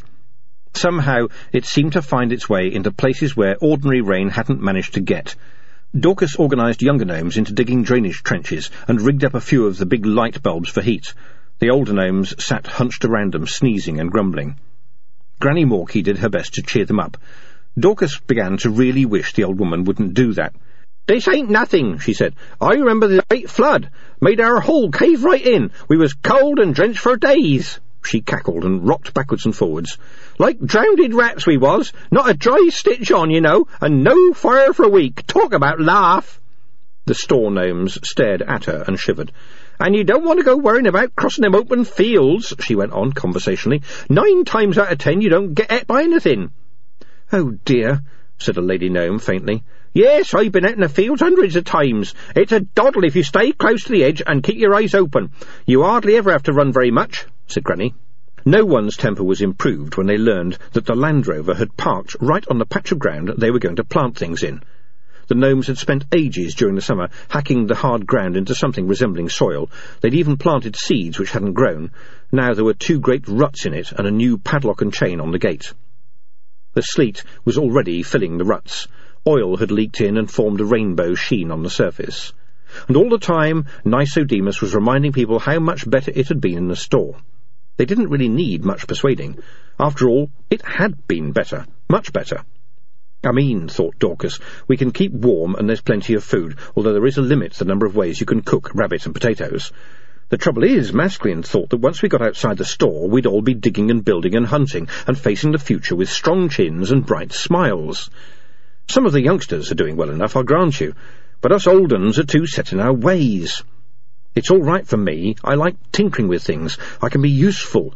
But the rest of them, well, all they've really got to occupy themselves is grumbling, and they've become really good at it. I wonder what Nicodemus's game is. He's too keen, if you ask me. I wish Masklin would come back. Even young Gurder wasn't too bad. It's been three days now. But at a time like this, He knew he'd feel better if he went and looked at Jekub. Chapter 6 For in the hill was a dragon, from the days when the world was made. But it was old, and broken, and dying, and the mark of the dragon was on it, and the mark was Jekub. From the Book of Nome, Jekub, chapter 1, verses 1 to 4. Jekub. Jekub was his, his little secret, his big secret, really. No one else knew about Jekub, not even Dorcas's assistants. He'd been pottering around in the big old half-ruined sheds on the other side of the quarry one day back in the summer. He hadn't really got any aim in mind, except perhaps the possibility of finding a useful bit of wire or something. So he'd rummaged around in the shadows, straightened up, glanced above him, and there Jekub was, with his mouth open. It had been a terrible few seconds until Dorcas's eyes adjusted to the distance. After that, he'd spent a lot of time with Jekub, poking around, finding out about it. Or him. Jekub was definitely a him. A terrible him, perhaps, and old and wounded like a dragon that had come here for one last final sleep. Or perhaps it was like one of those big animals Grimma had shown him in the book once. Dinosaurs. But Jekub didn't grumble, and he didn't keep on asking Dorcas why he hadn't got round to inventing radio yet, Dorcas had spent many a peaceful hour getting to know Jekub. He was someone to talk to. He was the best kind of person to talk to, in fact, because you didn't have to listen to him back. Dorcas shook his head. There was no time for that sort of thing now. Everything was going wrong. Instead, he went to find Grimma. She seemed to have her head screwed on right, even if she was a girl. The school hole was under the floor of the old shed with canteen on the door. It was Grimma's personal world. She'd invented schools for children on the basis that since reading and writing were quite difficult, it was best to get them over with early. The library was also kept there. In those last hectic hours, the gnomes had managed to rescue about thirty books from the store. Some were very useful. Gardening all the year round was well thumbed, and Dorcas knew Essential Theory for the Amateur Engineer almost by heart. But some were, well, difficult and not opened much. Grimma was standing in front of one of these when he wandered in. She was biting her thumb, which she always did when she was concentrating. He had to admire the way she read. Not only was Grimma the best reader among the gnomes, she also had an amazing ability to understand what she was reading. Nicodemus is causing trouble, he said, sitting down on a bench. I know, said Grimma vaguely. I've heard. She grabbed the edge of the page in both hands and turned it over with a grunt of effort. I don't know what he's got to gain, said Dorcas. Power, said Grimma. We've got a power vacuum, you see. I don't think we have, said Dorcas uncertainly. I've never seen one here. There were plenty in the store, sixty-nine ninety-five with a range of attachments for round-the-house cleanliness, he added, remembering with a sigh the familiar signs. No, it's not a thing like that, said Grimma. It's what you get when no one's in charge. I've been reading about them. I'm in charge, aren't I? Said Dorcas plaintively. No, said Grimma, because no one really listens to you. Oh, thank you very much. It's not your fault. People like Masklin and Angalo and Gurder can make people listen to them, but you don't seem to keep their attention. Oh, but you can make nuts and bolts listen to you. Not everyone can do that. Dorcas thought about this. He would never have put it like that himself. Was it a compliment? He decided it probably was. When people are faced with lots of troubles and they don't know what to do, there's always someone ready to say anything just to get some power, said Grimma. Never mind. When the others get back, I'm sure they'll sort it all out, said Dorcas more cheerfully than he felt. Yes, they'll... Grimma began, and then stopped. After a while, Dorcas realised that her shoulders were shaking. Is there anything the matter? he said. It's been more than three whole days, sobbed Grimma. No one's ever been away that long before. Something must have happened to them. Uh, said Dorcas. Well, they were going to look for grandson 39, and we can't be sure that... And I was so nasty to him before he went. I told him about the frogs, and all he could think of was socks. Dorcas couldn't quite see how frogs had got involved. When he sat and talked to Jekub, frogs were never dragged into the conversation. Uh, he said. Grimma, in between sobs, told him about the frogs. And I'm sure he didn't even begin to understand what I meant, she mumbled. And you won't either.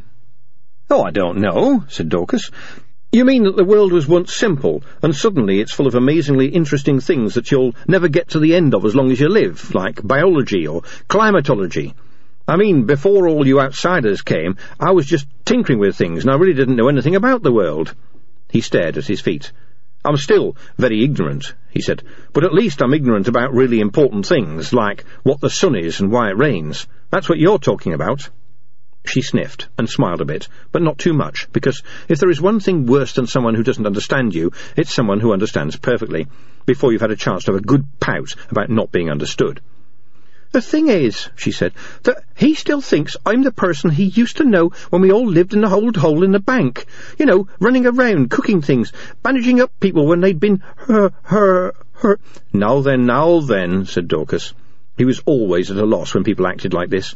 When machines went funny, you just oiled them or prodded them, or if nothing else worked, hit them with a hammer. Gnomes didn't respond well to this treatment. Supposing he never comes back, she said, dabbing at her eyes. Of course he'll come back, said Dorcas reassuringly. What could have happened to him after all? He could have been eaten, or run over, or trodden on, or blown away, or fallen down a hole, or trapped, said Grimma. Er, yes, said Dorcas. Apart from that, I meant. But I shall pull myself together, said Grimma, sticking out her chin. When he does come back, he won't be able to say, Oh, I see everything's gone to pieces while I've been away. Jolly good, said Dorcas. That's the spirit. Keep yourself occupied, that's what I always say. What's the book called? It's A Treasury of Proverbs and Quotations, said Grimma.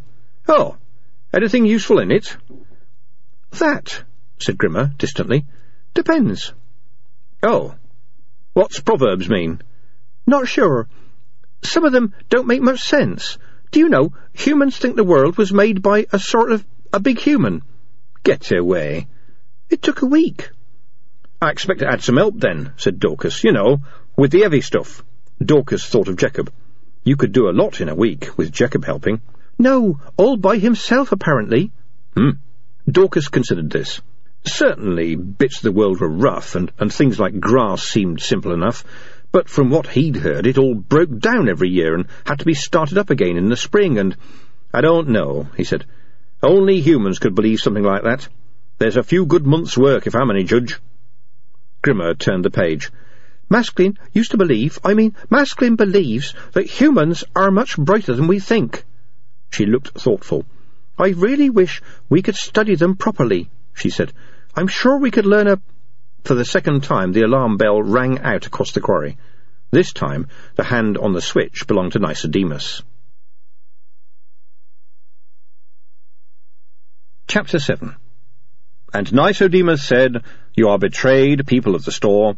Falsely you were led into this outside of rain and cold and sleet, and humans and order, and yet it will become worse.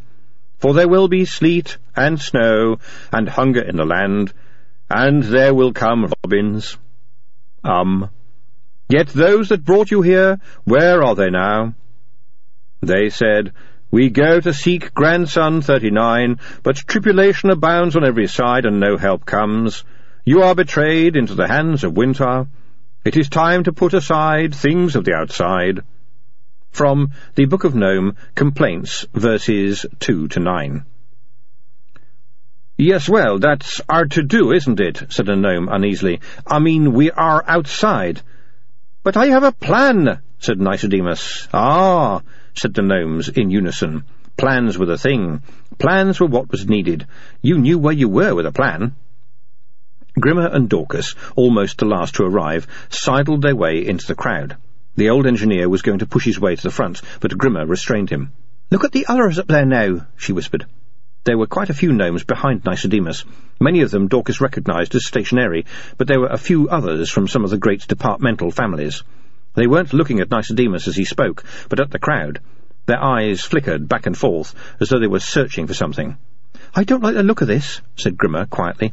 The big families never used to get on too well with the stationery, so why are they up there now? Grubby pieces of work, some of them, said Dorcas. Some of the stationery had been particularly upset about common, everyday gnomes learning to read. They said it gave people ideas, Dorcas gathered, which were not a good thing unless they were the right kind of ideas. And some of the great families hadn't been too happy about gnomes being able to go where they pleased without having to ask permission. They're all up there, he thought. The gnomes who haven't done so well since the drive. They all lost a little power. Nicodemus was explaining his plan. As he listened, Dorcas's mouth slowly dropped open. It was magnificent in its way, that plan. It was like a machine where every single bit was perfectly made, but had been put together by a one-handed gnome in the dark. It was crammed full of good ideas which you couldn't sensibly argue with, but they had been turned upside down. The trouble was, they were still ones you couldn't sensibly argue with, because the basically good idea was still in there somewhere. Nicodemus wanted to rebuild the store. The gnomes stood in horrified admiration as the stationery explained that yes, Abbot Gurder had been right. When they left the store, they had taken Arnold Bros Est 1905 with them inside their heads. And if they could show him that they really cared about the store, he would come out again and put a stop to all these problems and re-establish the store here in this green, unpleasant land. That was how it all arrived in Dorcas's head, anyway. He'd long ago decided that if you spent all your time listening to what people actually said, you'd never have time to work out what they meant. But it wouldn't mean building the whole store, said Nicodemus, his eyes shining like two bright black marbles. They could change the quarry in other ways, go back to living in proper departments instead of any old how all over the place. Put up some signs, get back to the good old ways. Make Arnold Bros Est 1905 feel at home. Build the store inside their heads. Gnomes didn't often go mad. Dorcas vaguely recalled an elderly gnome who had once decided that he was a teapot, but he'd changed his mind after a few days. Nicodemus, though, had definitely been getting too much fresh air. It was obvious that one or two other gnomes thought so too. I don't quite see, said one of them, how Arnold Bros Est 1905 is going to stop these humans. No offence meant. Did humans interfere with us when we were in the store? demanded Nicodemus. Well, no, but because... Then trust in Arnold Bros Est. 1905. But that didn't stop the store being demolished, did it? said a voice. When it came to it, you all trusted Masklin and Gurder and the truck, and yourselves. Nicodemus is always telling you how clever you are. Try and be clever, then. Dorcas realised it was Grimma. He'd never seen anyone so angry.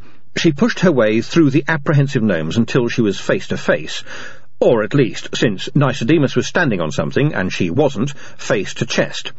He was one of those people who liked standing on things. What will actually happen, then? she shouted. When you've built the store, what will happen? Humans came into the store, you know. Nicodemus's mouth opened and shut for a while. Then he said, But they obeyed the regulations, yes, um, that's what they did, and things were better then. She glared at him. You don't really think people are going to accept that, do you? she said. There was silence. You've got to admit, said an elderly gnome very slowly, things were better then. The gnomes shuffled their feet. That was all you could hear. Just people shuffling their feet. They just accepted it, said Grimma. Just like that. No one's bothered about the council any more. They just do what he tells them. Now she was in Dorcas's workspace, under a bench in the old quarry garage. My little sanctuary, he always called it. My little nook. Bits of wire and tin were scattered everywhere. The wall was covered with scrawls done with a bit of pencil lead. Dorcas sat and twiddled a bit of wire aimlessly. You're being hard on people, he said quietly. You shouldn't yell at them like that. They've been through a lot. They get all confused if you shout at them. The council was all right for when times were good, he shrugged, and without Masklin and Gurder and Angalo, well, it hardly seems worthwhile. But after all that's happened, she waved her arms, to act so stupidly, just because he's offered them a bit of comfort, said Dorcas. He shook his head. You couldn't explain things like this to people like Grimma. Nice girl, bright head on her, but she kept thinking that everyone else was as passionate about things as she was.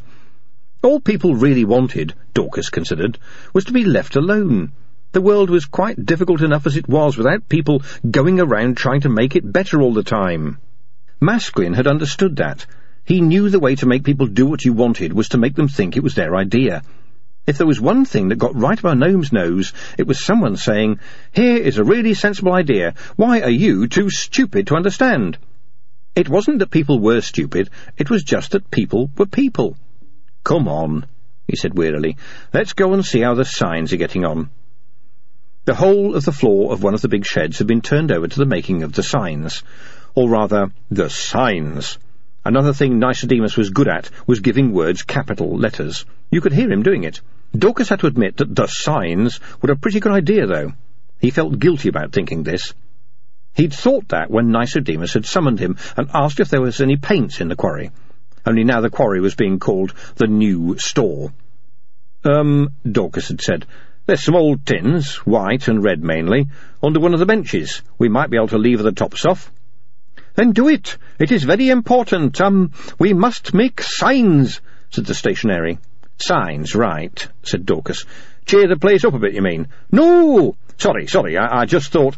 Signs for the gate! Dorcas scratched his chin. The gate, he said.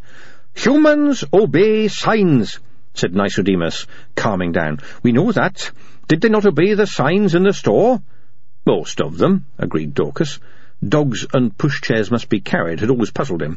Lots of humans didn't carry either of them. Signs make humans do things, said Nicodemus, or stop doing things. So get to work, good Dorcas. Signs, um, signs that say no. Dorcas had given this a lot of thought as teams of gnomes sweated to pry the lids off the paint-streaked tins. They still had the highway code from the truck, and there were plenty of signs in there, and he could remember some of the signs from the store. Then there was a stroke of luck. Normally the gnomes stayed at floor level, but Dorcas had taken to sending his young assistants onto the big desk in the manager's office occasionally, where there were useful scraps of paper. Now he needed to work out what the signs should say. Sacco and Nooty came back with the news. They'd found more signs. A great big, grubby notice pinned to the wall, covered with signs. Masses of them, Sacco said, coming back out of breath. And you know what, sir? You know what?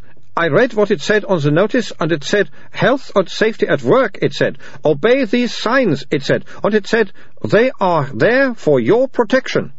That's what it said, said Dorcas. For your protection, Sacco repeated. Can you get it down?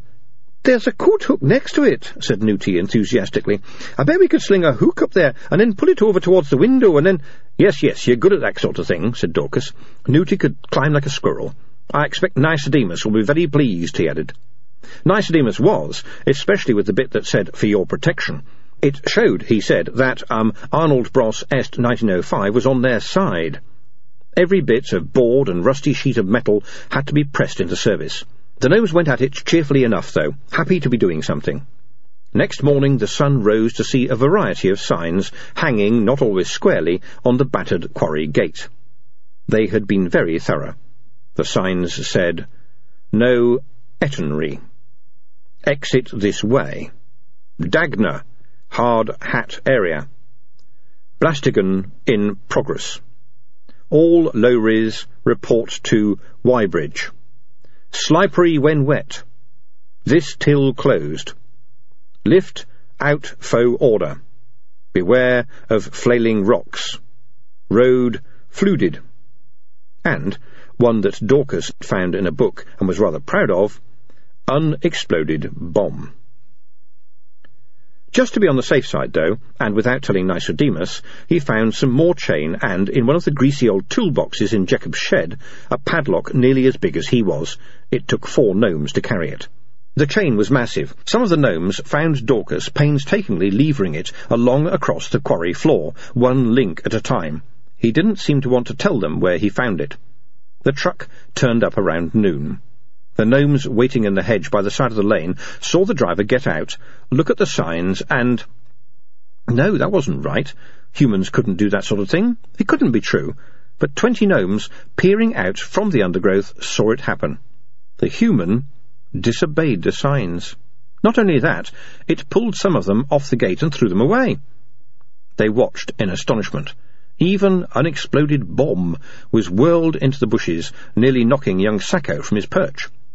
The new chain, though, caused the human a few problems. It rattled it once or twice, peered in through the wire mesh of the gate, stamped around for a bit, and then drove off. The gnomes in the bushes cheered, but not too happily. If humans weren't going to do what was expected of them, nothing was right in the world. I reckon that's it, said Dorcas when they got back.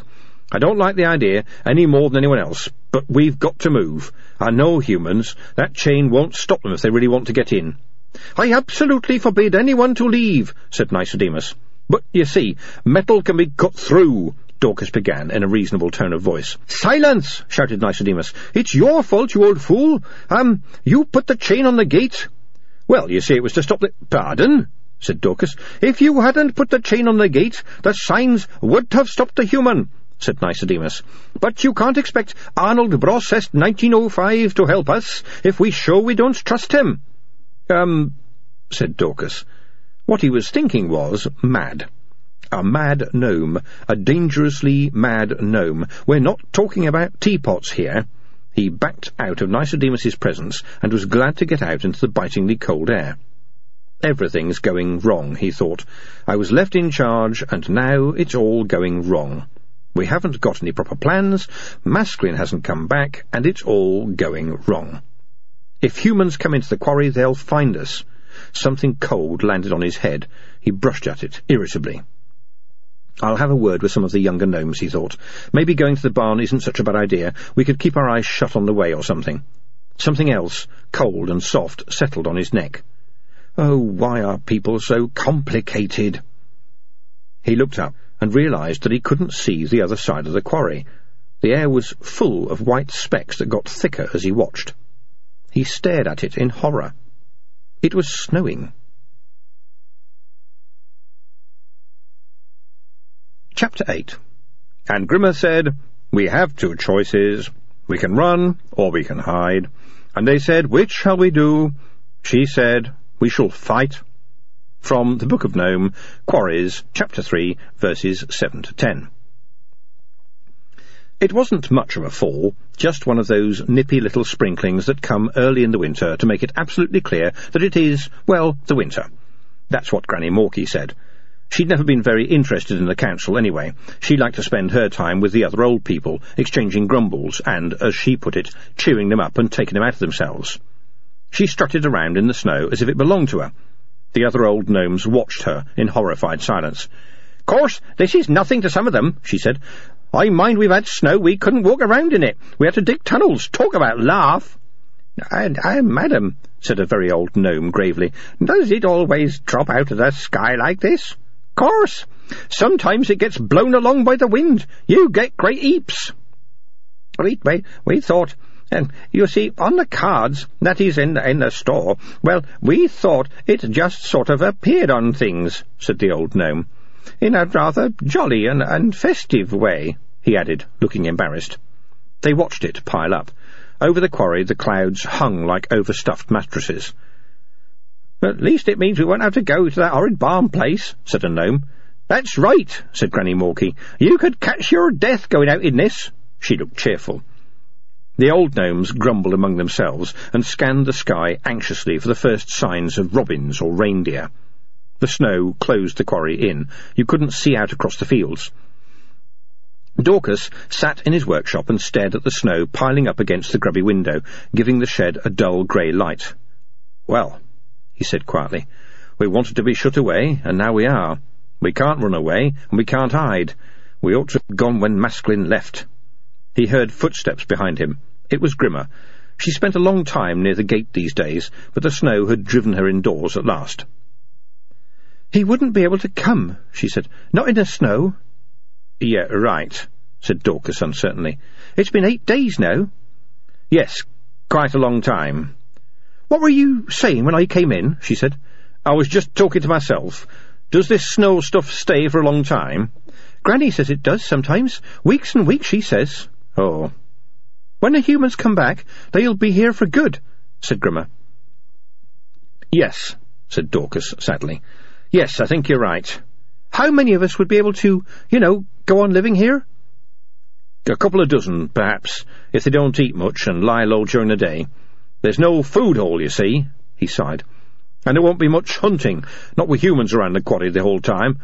All the game up in the thickets will run away. But there's thousands of us. Dorcas shrugged. It's hard enough for me to walk through this snow, he said. There's hundreds of older gnomes who'll never do it, and the young ones come to that. So we've got to stay just like Nicodemus wants, said Grimma. Yes. Stay and hope. Perhaps the snow will be gone. We could make a run for the thickets or something, he said vaguely. We could stay and fight, said Grimma. Dorcas growled. Oh, that's easy. We fight all the time. Bicker, bicker, bicker. That's Gnomish nature for you. I mean, fight the humans. Fight for the quarry. There was a long pause. Then Dorcas said, What, us? Fight humans? Yes. But they're humans. Yes. But they're so much bigger than we are, said Dorcas desperately. Then they'll make better targets, said Grimma, her eyes alight. And we're faster than them, and smarter than them, and we know they exist, and we have, she added, the element of surprise. The what? said Dorcas, totally lost. The element of surprise. They don't know we're here, she explained. He gave her a sidelong glance. You've been reading strange books again, he said. Well, it's better than sitting around wringing our hands and saying, Oh dear, oh dear, the humans are coming and we shall all be squashed. That's all very well, said Dorcas, but what are you suggesting? Bashing them over the head would be really tricky, take it from me. Not their heads, said Grimma. Dorcas stared at her. Fight humans? It was such a novel idea, it was hard to get your mind around it. But, well, there was that book, wasn't there?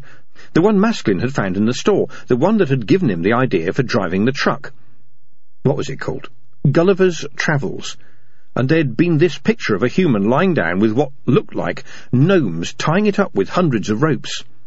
Not even the oldest gnomes could remember it ever happening. It must have been a long time ago. A snag struck him. Hang on a minute, he said. If we start fighting humans... His voice tailed off. Yes, said Grimma impatiently. They'll start fighting us, won't they? I know they're not very bright, but it'll dawn on them that something's happening, and they'll fight back. Retaliation, that's called. That's right, said Grimma, and that's why it's vitally important we retaliate right at the start. Dorcas thought about this. It seemed a logical idea.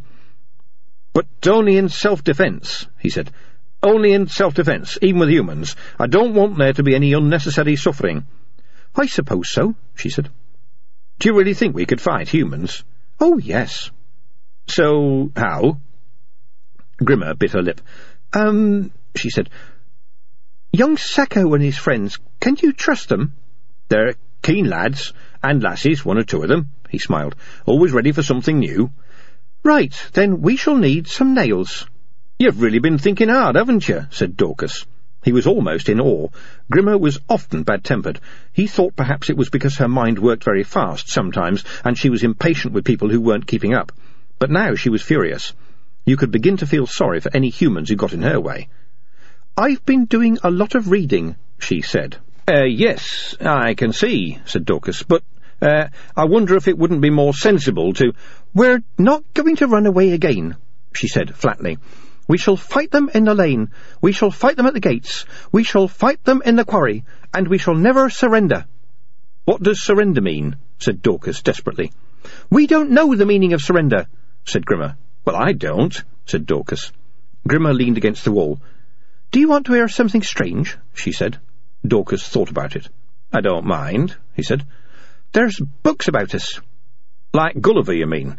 No, that was about a human. About us, I mean. Ordinary-sized people like us, but wearing all-green suits and with little knobbly stalks on their heads.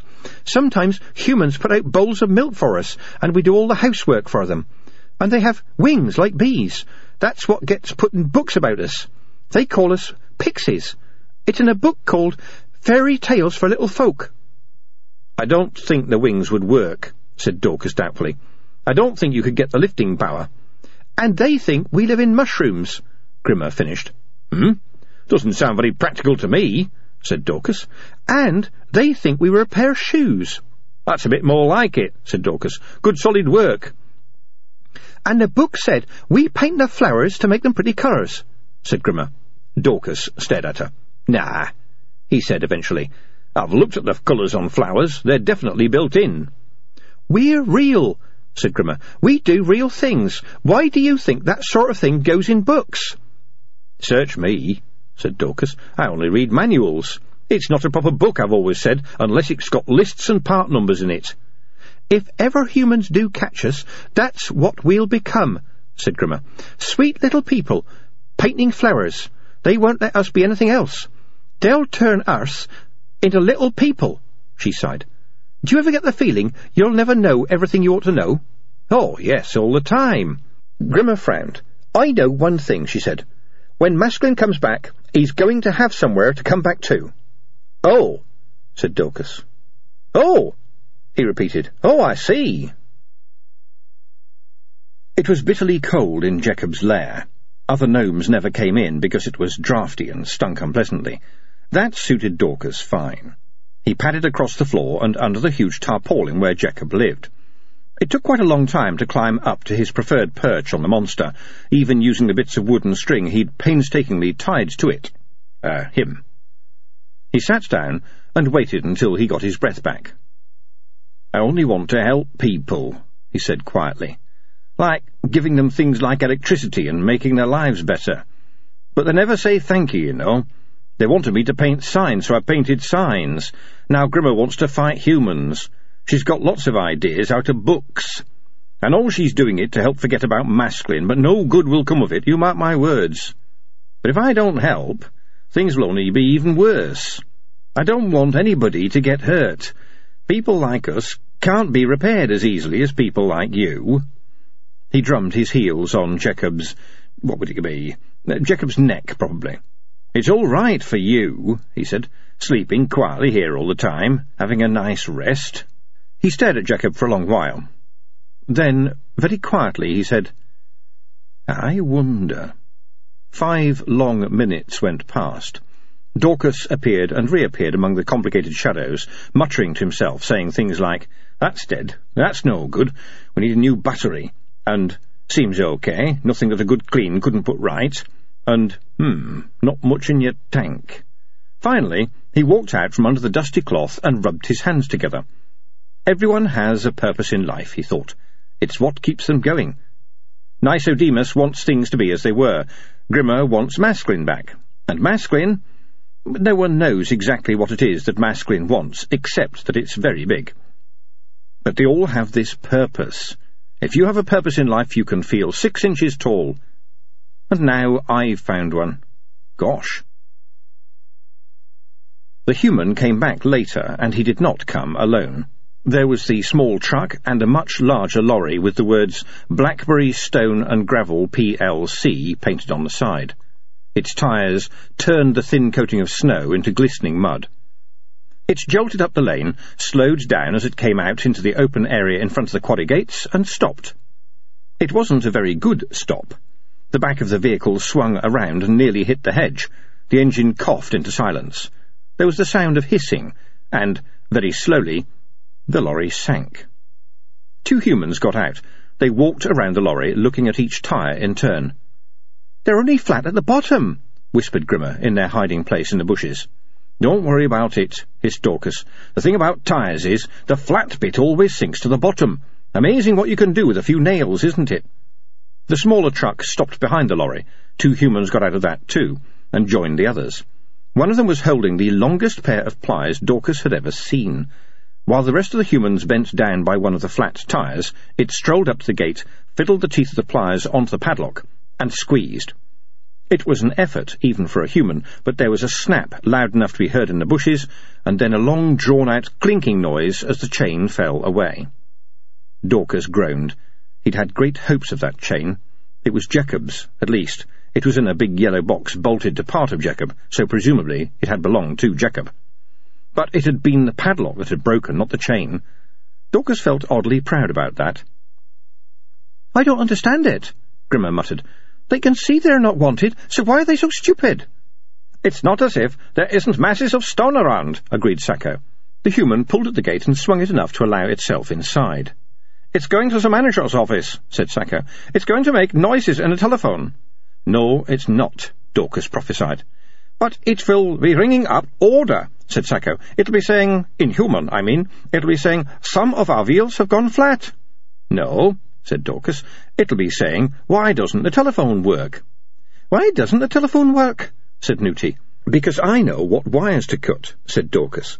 Look, it's coming back out. They watched it walk around the sheds. The snow had covered the gnomes' sad attempts at cultivation. There were plenty of gnome tracks, though, like little bird trails in the snow. The human didn't notice them. Humans hardly ever noticed anything. Trip Tripwires, said Grimma. What? said Dorcas. Trip Tripwires. We should put trip tripwires down. The bigger they are, said Grimma, the harder they fall. Not on us, I hope, said Dorcas. No, we could put more nails down, said Grimma. Good grief. The humans clustered around the stricken lorry. Then they appeared to reach a decision and walked back to the Land Rover. They got in. It couldn't go forward, but reversed slowly down the lane, turned around in a field gateway, and headed back to the main road. The lorry was left alone. Dorcas breathed out. I was afraid one of them would stay, he said. They'll come back, said Grimma. You've always said it. Humans will come back and mend the wheels or whatever it is they do.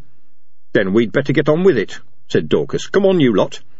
He stood up and trotted towards the lane.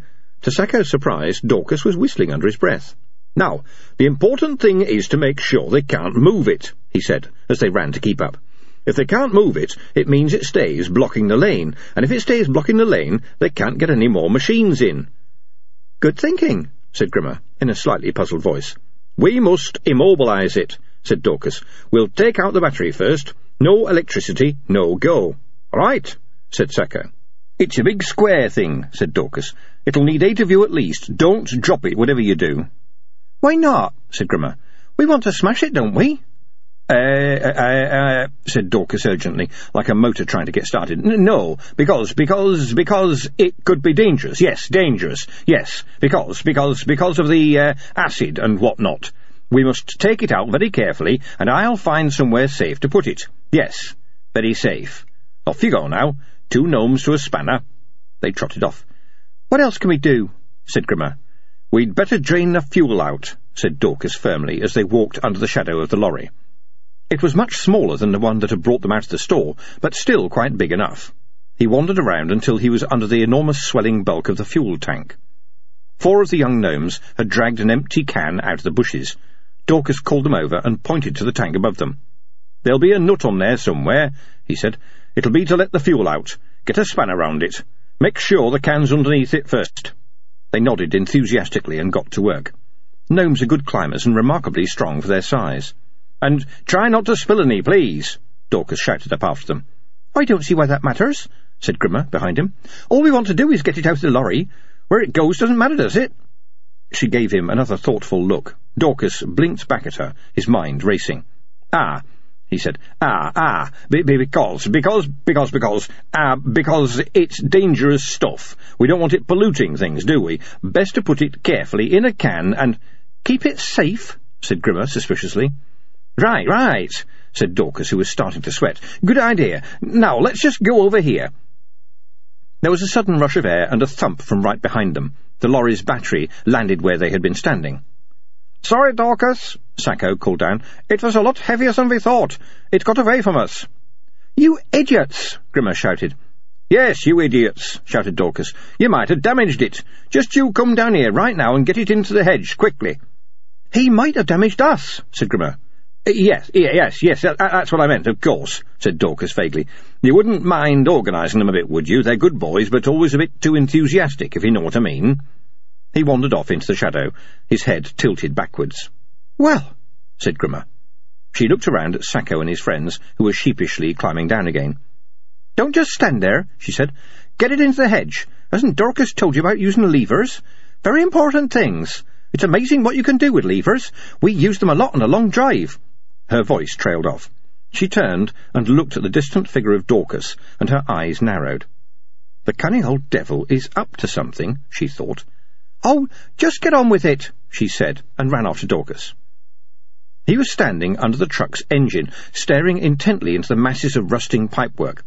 As she came up, she distinctly heard him say, Now, what else do we need? How do you mean, need? said Grimma quietly. Oh, to help J... Dorcas stopped and turned around slowly. I mean, what else do we need to do to make the thing totally immobile? he said stonily. That was what I meant. You're not planning to drive this truck, are you? said Grimma. Don't be silly. Where'd we go? It'd never get across the fields to the barn. Well, all right then. I just want to have a look around it. Time spent collecting knowledge is never wasted, said Dorcas primly. He stepped out into the light on the other side of the truck and looked up. Well, well, he said. What is it? They left the door open. I suppose they thought it was all right because they'd be coming back. Grimma followed his gaze. The truck's door was slightly ajar. Dorcas looked around at the hedge behind them. Help me find a big enough stick, he said. I reckon we could climb up there and have a look around. A look around? What do you expect to find?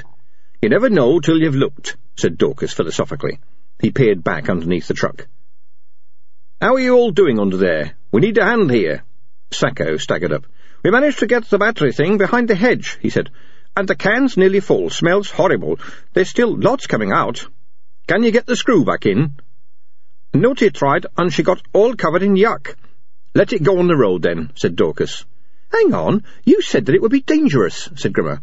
It's dangerous until you fill the can up, is it, and then not dangerous at all? Look, you wanted me to stop the lorry, and I've stopped the lorry, said Dorcas, so just shut up, will you? Grimma looked at him in horror. What did you say? she said. Dorcas swallowed. Oh, well, if you are going to get shouted at, you might as well get your money's worth. I said just shut up, he said quietly. I don't want to be rude, but you do go on at people.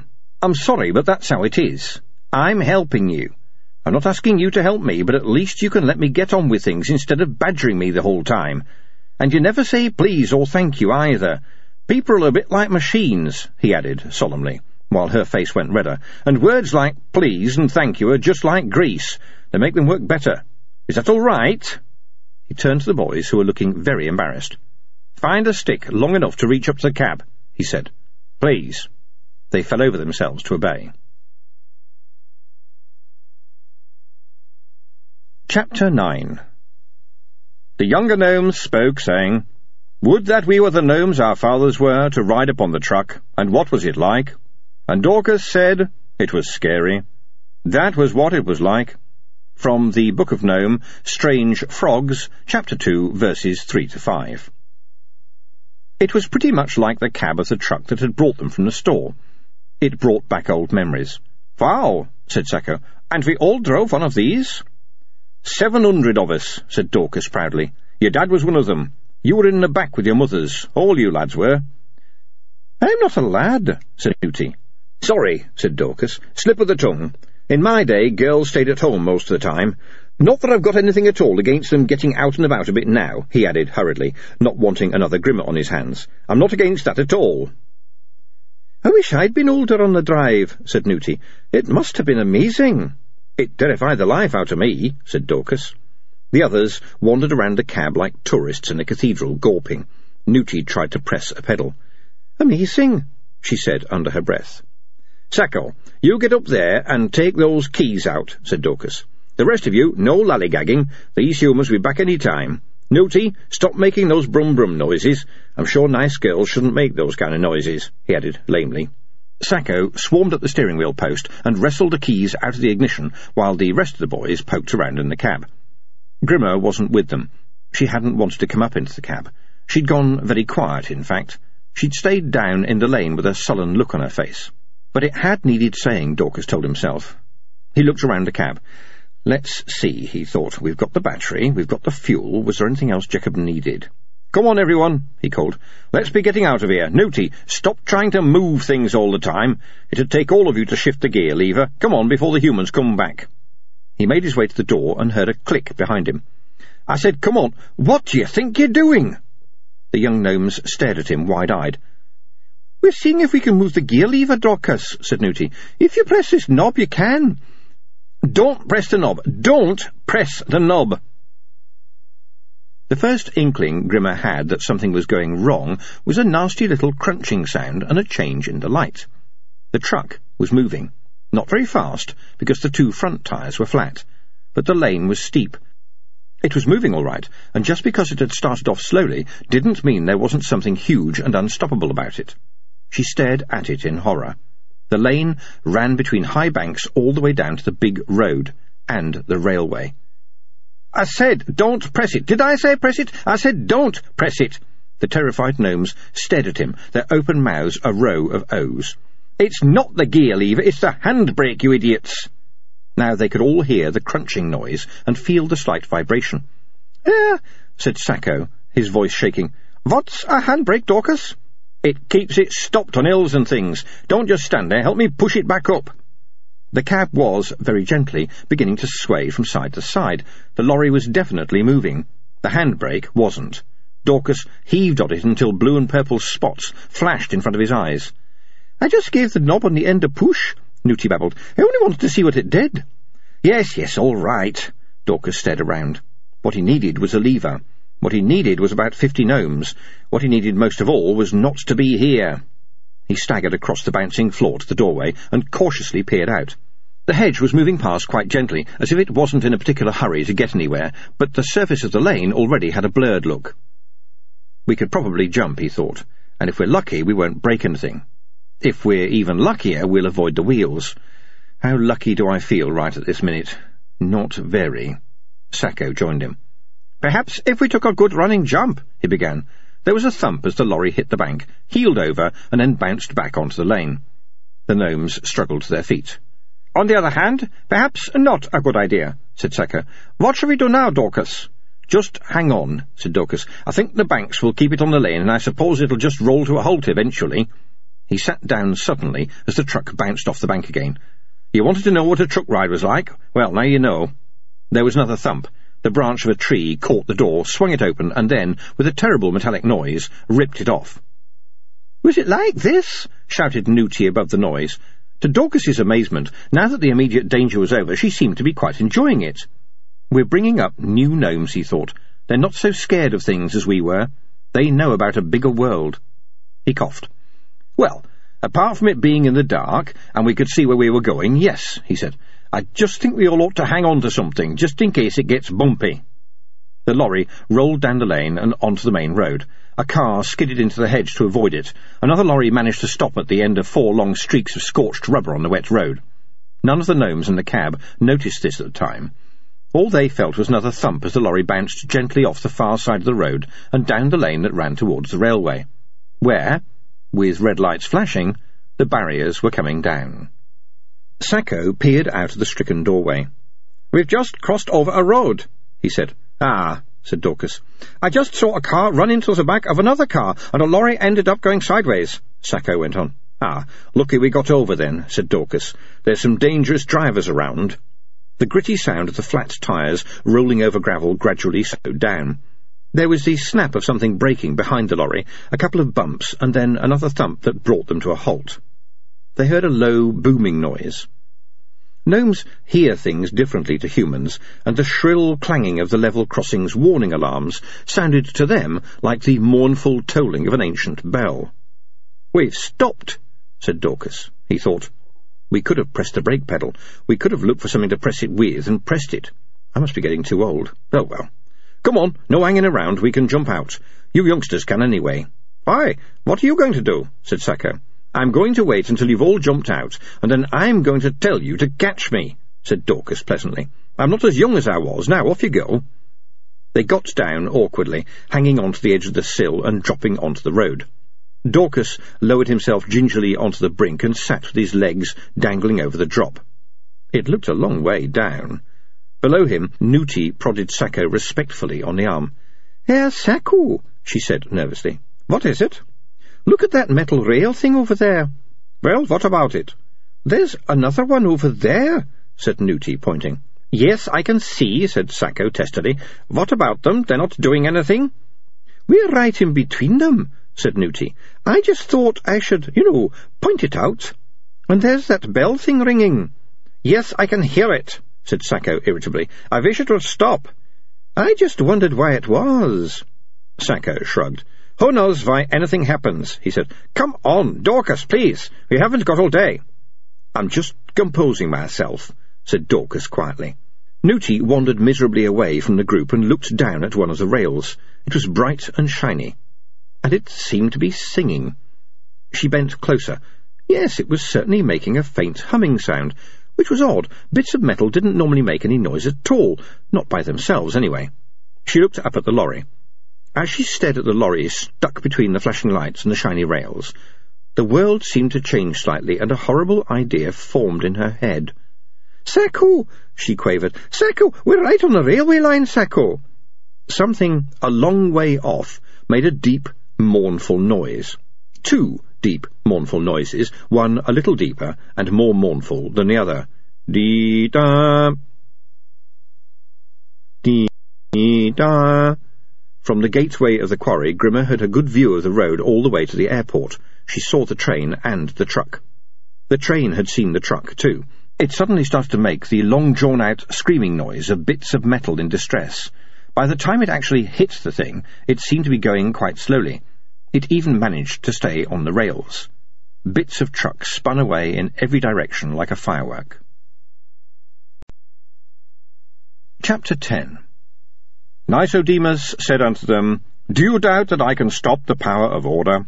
And they said, Um. From the Book of Nome, Chases, verses 1 to 2. Other gnomes came running across the quarry floor, with Nicodemus in the lead, and piled up in a crowd around the gate. What happened? What happened? I saw everything, said a middle-aged gnome. I was on watch, and I saw Dorcas and some of the boys go into the truck, and then it rolled away down the hill. Then it went over the road, and then it stopped right on the railway, and then... Uh, and then... I forbade all meddling with these infernal machines, said Nicodemus. And I said we were to stop, um, putting people on watch, didn't I? The watch Arnold Bros Est 1905 maintains should be enough for humble gnomes. Yeah, well, Dorcas said he thought it wouldn't do any harm if we gave him a hand, sort of thing, said the gnome nervously.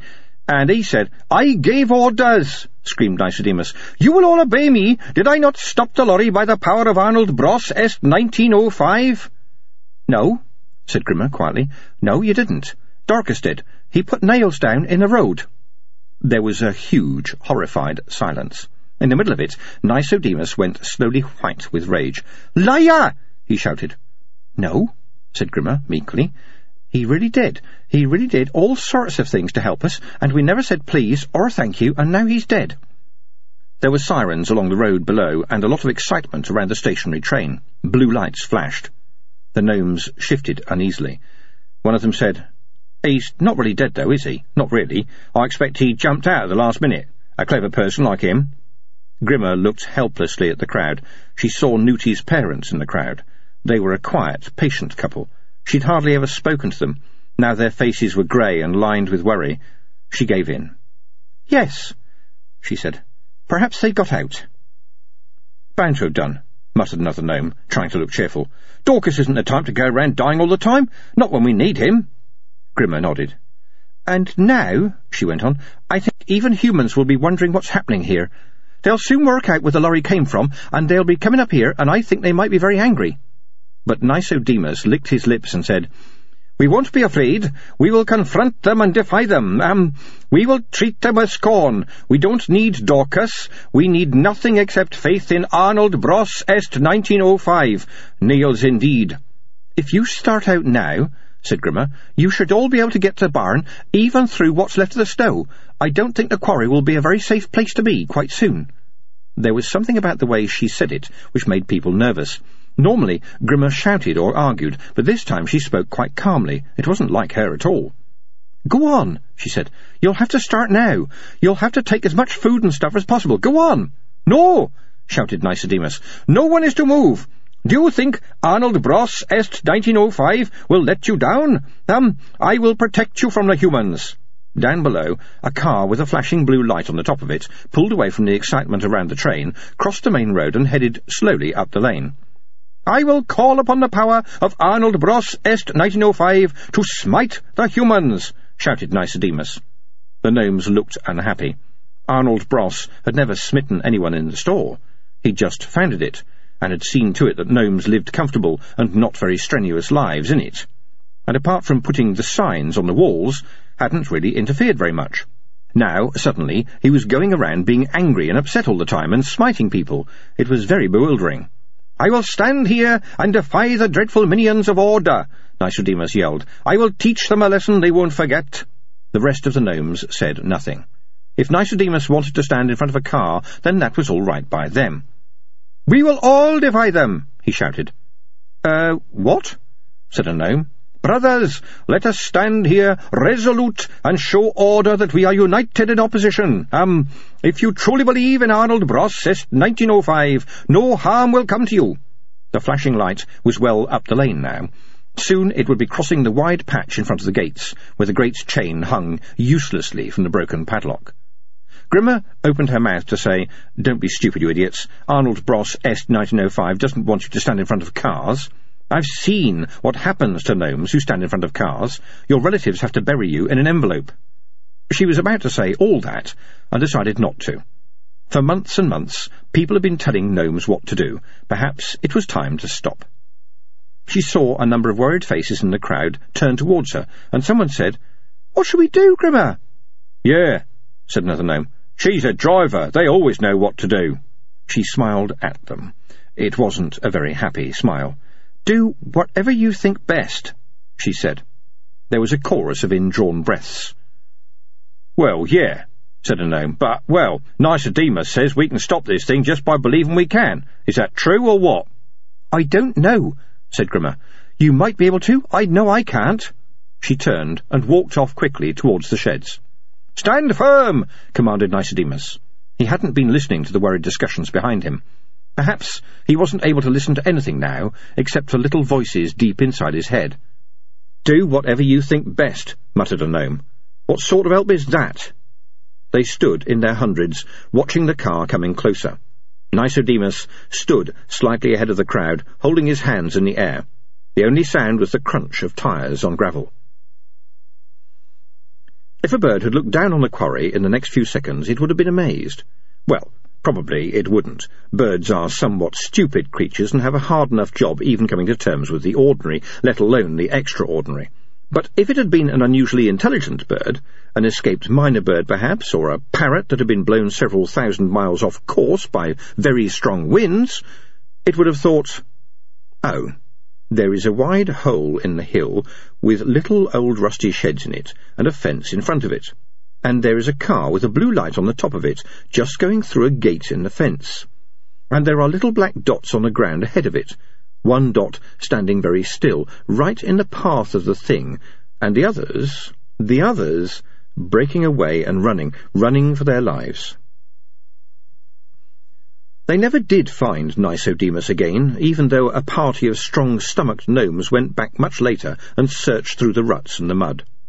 So a rumour grew up that perhaps, at the last minute, he had jumped up and caught hold of part of the car, and had clambered onto it somehow. And then he'd waited there, too ashamed to face other gnomes, until the car went back to wherever it came from, and had got off, and was living out the rest of his life quietly and without any fuss. He had been a good gnome in his way, they said. Whatever else you might say about him, he believed in things, and he did what he thought was proper. So it was only right that he'd been spared and was still out there in the world somewhere. This was what they told one another, and what they wrote down in the Book of Nome. What gnomes might have thought in those private moments before they went to sleep, well, that was private. Humans clomped slowly around the train and what remained of the truck. Lots of other vehicles had turned up at what was, for humans, great speed. Many of them had blue lights on top. The gnomes had learned to be worried by things with flashing blue lights on top. The Land Rover belonging to the quarrymen was there as well. One of the quarrymen was pointing to the wrecked truck and shouting at the others. He'd opened the smashed engine compartment and was pointing to where the battery wasn't. Beside the railway the breeze rustled the long grass, and some of the long grass rustled without any wind at all. Dorcas had been right.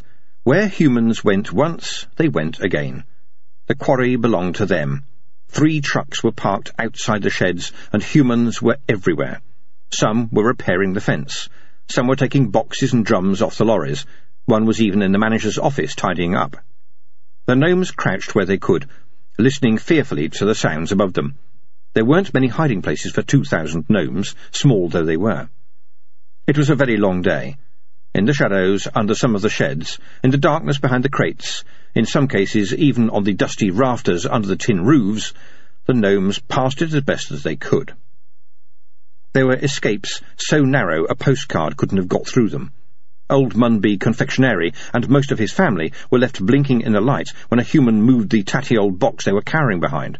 Only a quick dash to the shelter of a stack of tins saved them. And, of course, the fact that humans never really looked hard at what they were doing.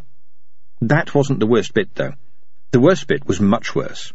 The gnomes sat in the noisy darkness, not daring even to speak, and felt their world vanishing. Not because the humans hated gnomes, because they didn't notice them. There was Dorcas's electricity, for example. He'd spent a long time twisting bits of wire together and finding a safe way to steal electricity from the fuse box. A human pulled them out without thinking, twiddled inside with a screwdriver, and put up a new box with a lock on it. Then it mended the telephone. The store gnomes needed electricity. They couldn't remember a time when they had been without it. It was a natural thing, like air.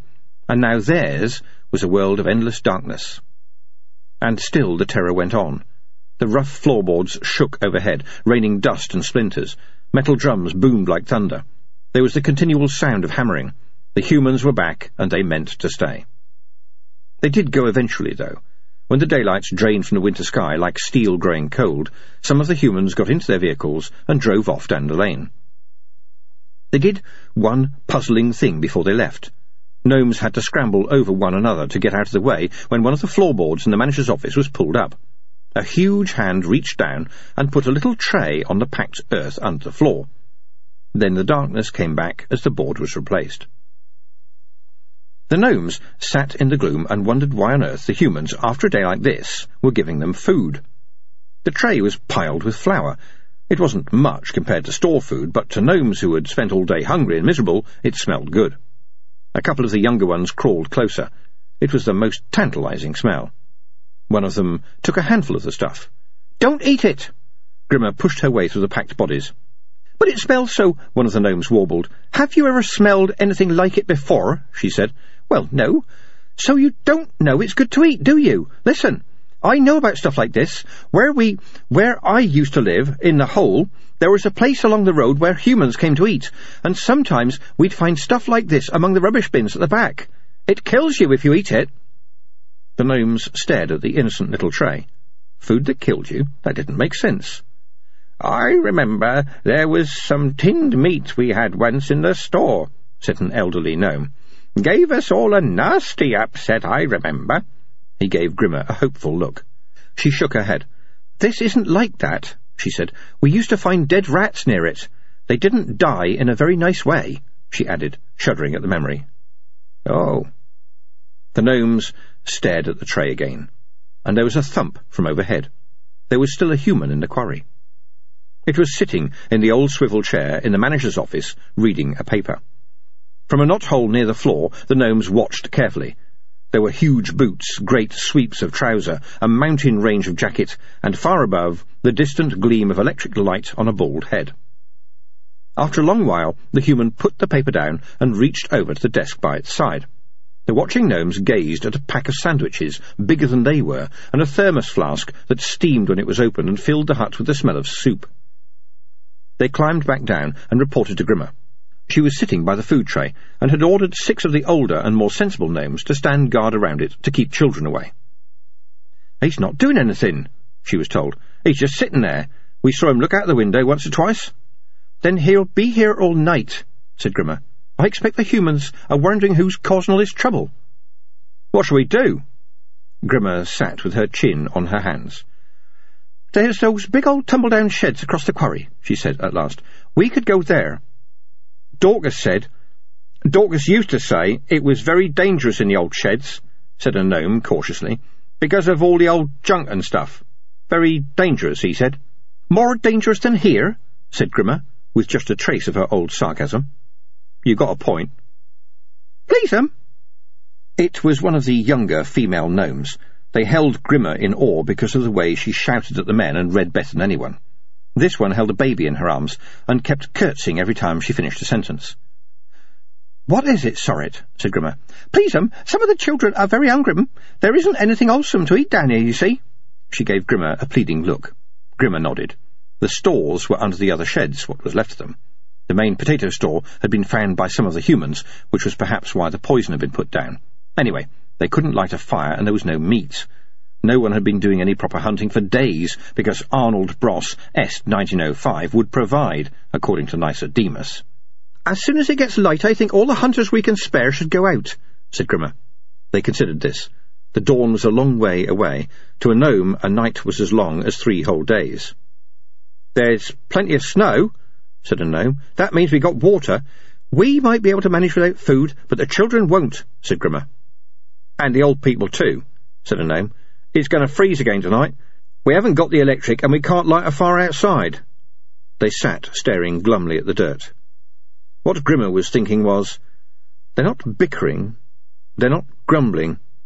Things are so serious they're actually not arguing and blaming each other. All right, she said. And what do you all think we should do? Chapter 11 We will come out of the woodwork. We will come out of the floor. They will wish they had never seen us. From the Book of Nome, Humans, verses 1 to 3. The human lowered its newspaper and listened. There was a rustling in the walls. There was a scratching under the floor. Its eyes swivelled to the table beside it. Then it roared and tried to stand up, and it wasn't until it was nearly upright that it found that its feet were tied very firmly to the legs of its chair. It crashed forward. A crowd of tiny creatures, moving so fast that it could hardly see them, charged out from under the table and wrapped a length of old electricity wire around its outflung arms. Within seconds it was trussed, awkwardly, but very firmly, between the furniture. They saw its great eyes roll. It opened its mouth and mooed at them. Teeth, like yellow plates, clashed at them. The wire held. The sandwiches turned out to be cheese and chutney, and the thermos, once they got the top off, was full of coffee. Store food, the gnomes told one another. Good store food, like we used to know. They poured into the room from every crack and mouse hole. There was an electric fire by the table, and they sat in solemn rows in front of its glowing red bar, or wandered around the cramped office. We'd done it, they said, just like that Gulliver's Travels. The bigger they come, the harder they fall. There was a school of thought that said that they should kill the human, whose mad eyes followed them around the floor. This was when they found the box. It was on one of the shelves. It was yellow. It had a picture of a very unhappy-looking rat on the front. It had the words "Scram off" in big red lettering, too. On the back Grimma's forehead wrinkled as she tried to read the smaller words on the back. It says, They take a bite, but they don't come back for more, she said, and apparently it contains polydichloromethylenolon 4, whatever that is, clears outhouses of troublesome... She paused. Troublesome what? said the listening gnomes. Troublesome what? Grimmer lowered her voice. It says, clears out houses of troublesome vermin in a trice, she said. It's poison. It's the stuff they put under the floor. The silence that followed this was black with rage. The gnomes had raised quite a lot of children in the quarry. They had very firm views about poison. We should make the human eat it, said one of them. Fill up its mouth with Polly, put the kettle on, or it's called. Troublesome vermin. I think they think we're rats, said Grimma. And that would be all right, would it? said a gnome with withering sarcasm. Rats are okay. We've never had any trouble with rats. No call to go around giving them poisoned food. In fact, the gnomes got on rather well with the local rats, probably because their leader was Bobo, who had been a pet of Angalo's when they lived in the store. The two species treated each other with the distant friendliness of creatures who could, at a pinch, eat one another, but had decided not to. Yeah, the rats would thank us for getting rid of a human, he went on. No, said Grimma. No, I don't think we should do that. Masklin always said that they're nearly as intelligent as we are. You can't go round poisoning intelligent creatures. They tried. They're not gnomes. They don't know how to behave, said Grimma. Anyway, be sensible. More humans will come along in the morning. If they find a dead human, there'll be a lot of trouble. That was a point. But they had shown themselves to a human. No gnome could remember it ever being done before. They'd had to do it, or starve and freeze, but there was no knowing where it would end. How it would end was a bit more certain. It would probably end badly. Go and put it somewhere where the rats can't get it, said Grimma. I reckon we should just give it a taste, said the gnome. No, just take the stuff away. We'll stay here the rest of the night and then move out before it's light. Well, right, if you say so. I just hope we're not sorry about it later, that's all. The gnomes carried the dreadful box away. Grimma wandered over to where the human lay. It was well trussed up by now, and couldn't move a finger. It looked just like the picture of Gulliver, or whoever he was, except the gnomes had got hold of what the gnomes in those days had never heard of, which was lots of electric wire. It was a lot tougher than rope, and they were a lot angrier. Gulliver hadn't been driving a great big lorry around the place and putting down rat poison. They'd gone through its pockets and piled up the contents in a heap. There'd been a big square of white cloth amongst them, which a group of gnomes had managed to tie around the human's mouth after its mooing got on everyone's nerves. Now they stood around eating fragments of sandwich and watching its eyes. Humans can't understand gnomes. Their voices are too fast and too high, like a bat squeak. It was probably just as well. I say We should find something sharp and stick it into it, said a gnome. In all the soft bits. There's things we could do with matches, said a lady gnome, to Grimma's surprise. And nails, said a middle-aged gnome. The human growled behind its gag and strained at the wires. We could pull all its hair out, said the lady gnome, and then we could... Do it then, said Grimma, coming up behind them. They turned. What?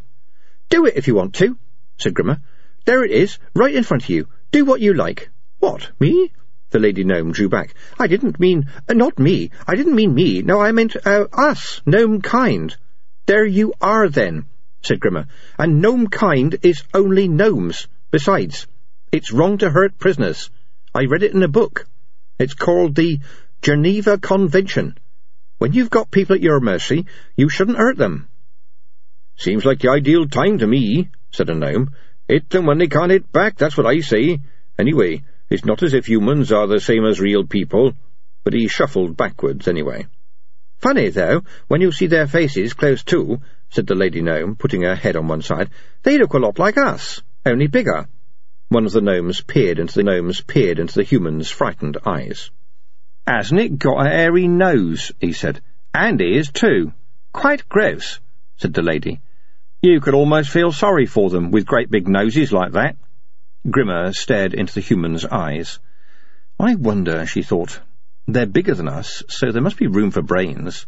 And they've got great big eyes. Surely they must have seen us once. Masklin said we've been here for thousands of years. In all that time, humans must have seen us. They must have known we were real people, but in their minds they turned us into pixies. Perhaps they didn't want to have to share the world. The human was definitely looking at her. Could we... could we share, she thought. They live in a big, long, slow world, and we live in a small, short, fast one, and we can't understand each other. They can't even see us unless we stand still, like I'm standing now. We move too quickly for them. They don't think we exist. She stared up into the big frightened eyes. We've never tried to... what was the word? Communicate with them before. Not properly. Not as though they were real people, thinking real thoughts. How can we tell them we're really real and really here? But perhaps, when you're lying down on the floor and tied up by little people you can hardly see and don't believe in, that's not the best time to start communicating. Perhaps we should try it another time. Not signs, not shouting, just trying to get them to understand us. Wouldn't it be amazing if we could? They could do the big slow jobs for us, and we could do, oh, little fast things, fiddly things that those great fingers can't do, but not paint flowers or mend their shoes. Grimma, you ought to see this, Grimma, said a voice behind her. The gnomes were clustered around a white heap on the floor. Oh, yes, the human had been looking at one of those big sheets of paper. The gnomes had spread it out flat on the floor. It looked a lot like the first one they'd seen, except this one was called Read It First in Your Sawed-Away Blackbury Evening Post and Gazette. It had more of the great blocky writing, some of the letters nearly as big as a gnome's head. Grimma shook her own head as she tried to make sense of it. She could understand the books quite well, she considered, but the papers seemed to use a different language. It was full of probes and shocks and fuzzy pictures of smiling humans shaking hands with other humans. Tablers raise £455 for hospital appeal. It wasn't difficult to work out what each word meant, but when they were put together they either didn't mean anything at all or something quite unbelievable. Civic Centre Creche Rumpus. No, this is the bit, said one of the gnomes. This page here. Look, some of the words. They're the same as last time. Look, it's about grandson, 39. Grimma ran the length of a story about somebody slamming somebody's plan for something. There was indeed a fuzzy picture of grandson 39 under the words TV in the Sky Hitch. She knelt down and stared at the smaller words below it. Read it aloud, they said. Richard Arnold, the Blackbury-based chairman of the Arnco Group, said in Florida today, she said, that scientists are still trying to re re regain control of ARNSAT-1, the multi-million pound com communications satellite. The gnomes looked at one another. Multi-million pound, they said. That's really heavy. Hopes were high after yesterday's successful lunch in Florida, Grimma read uncertainly, that ARNSAT-1 would begin test transmissions today. Instead, it is sending a stream of strange sig signals. It's like some sort of code, said Richard 39. There was an appreciative murmur from the listeners. It's as if it had a mind of its own, Grimma read. There was more stuff about teething troubles, whatever that meant, but Grimma didn't bother to read it. She remembered the way Masklin had talked about the stars and why they stayed up. And there was the thing, He'd taken it with him. The thing could talk to electricity, couldn't it? It could listen to the electricity in wires and the stuff in the air that Dorcas called radio. If anything could send strange signals, the thing could. I may go even further than the long drive, he'd said. They're alive, she said, to no one in particular. Masklin and Gurder and Angalo. They got to the Florida place, and they're alive. She remembered him trying to tell her sometimes about the sky and the thing and where gnomes first came from, and she'd never really understood, any more than he'd understood about the little frogs. They're alive, she repeated. I know they are. I don't know exactly how or where, but they've got some sort of plan and they're alive. The gnomes exchanged meaningful glances, and the kind of meaning they were full of was, She's fooling herself, but it'd take a braver gnome than me to tell her. Granny Morky patted her gently on the shoulder. Yes, yes, she said soothingly, and thank goodness they had a successful lunch. I bet they needed to get some food inside of them. If I was you, my girl, I'd get some sleep. Grimma dreamed. It was a confused dream. Dreams nearly always are. They don't come neatly packaged. She dreamed of loud noises and flashing lights, and eyes. Little yellow eyes. And Masklin, standing on a branch, climbing through leaves, peering down at little yellow eyes. I'm seeing what he's doing now, she thought. He's alive. I always knew he was, of course, but outer space has got more leaves than I thought. Or perhaps none of it is real and I'm just dreaming. Then someone woke her up. It's never wise to speculate about the meaning of dreams, so she didn't. It snowed again in the night, on an icy wind. Some of the gnomes scouted around the sheds and came back with a few vegetables that had been missed, but it was a pitifully small amount. The tied-up human went to sleep after a while, and snored like someone sawing a thick log with a thin saw. The others will come looking for it in the morning, Grimma warned. We mustn't be here then. Perhaps we should... She stopped. They all listened. Something was moving around under the floorboards. Is anyone still down there? Grimma whispered. The gnomes near her shook their heads. No one wanted to be in the chilly space under the floor when there was the warmth and light of the office for the having. And it can't be rats, she said. Then someone called out, in that half-loud, half-soft way of someone who wants to make themselves heard, while at the same time remaining as quiet as possible. It turned out to be Sacco. They dragged aside the floorboard the humans had loosened and helped him up. He was covered in mud and swaying with exhaustion.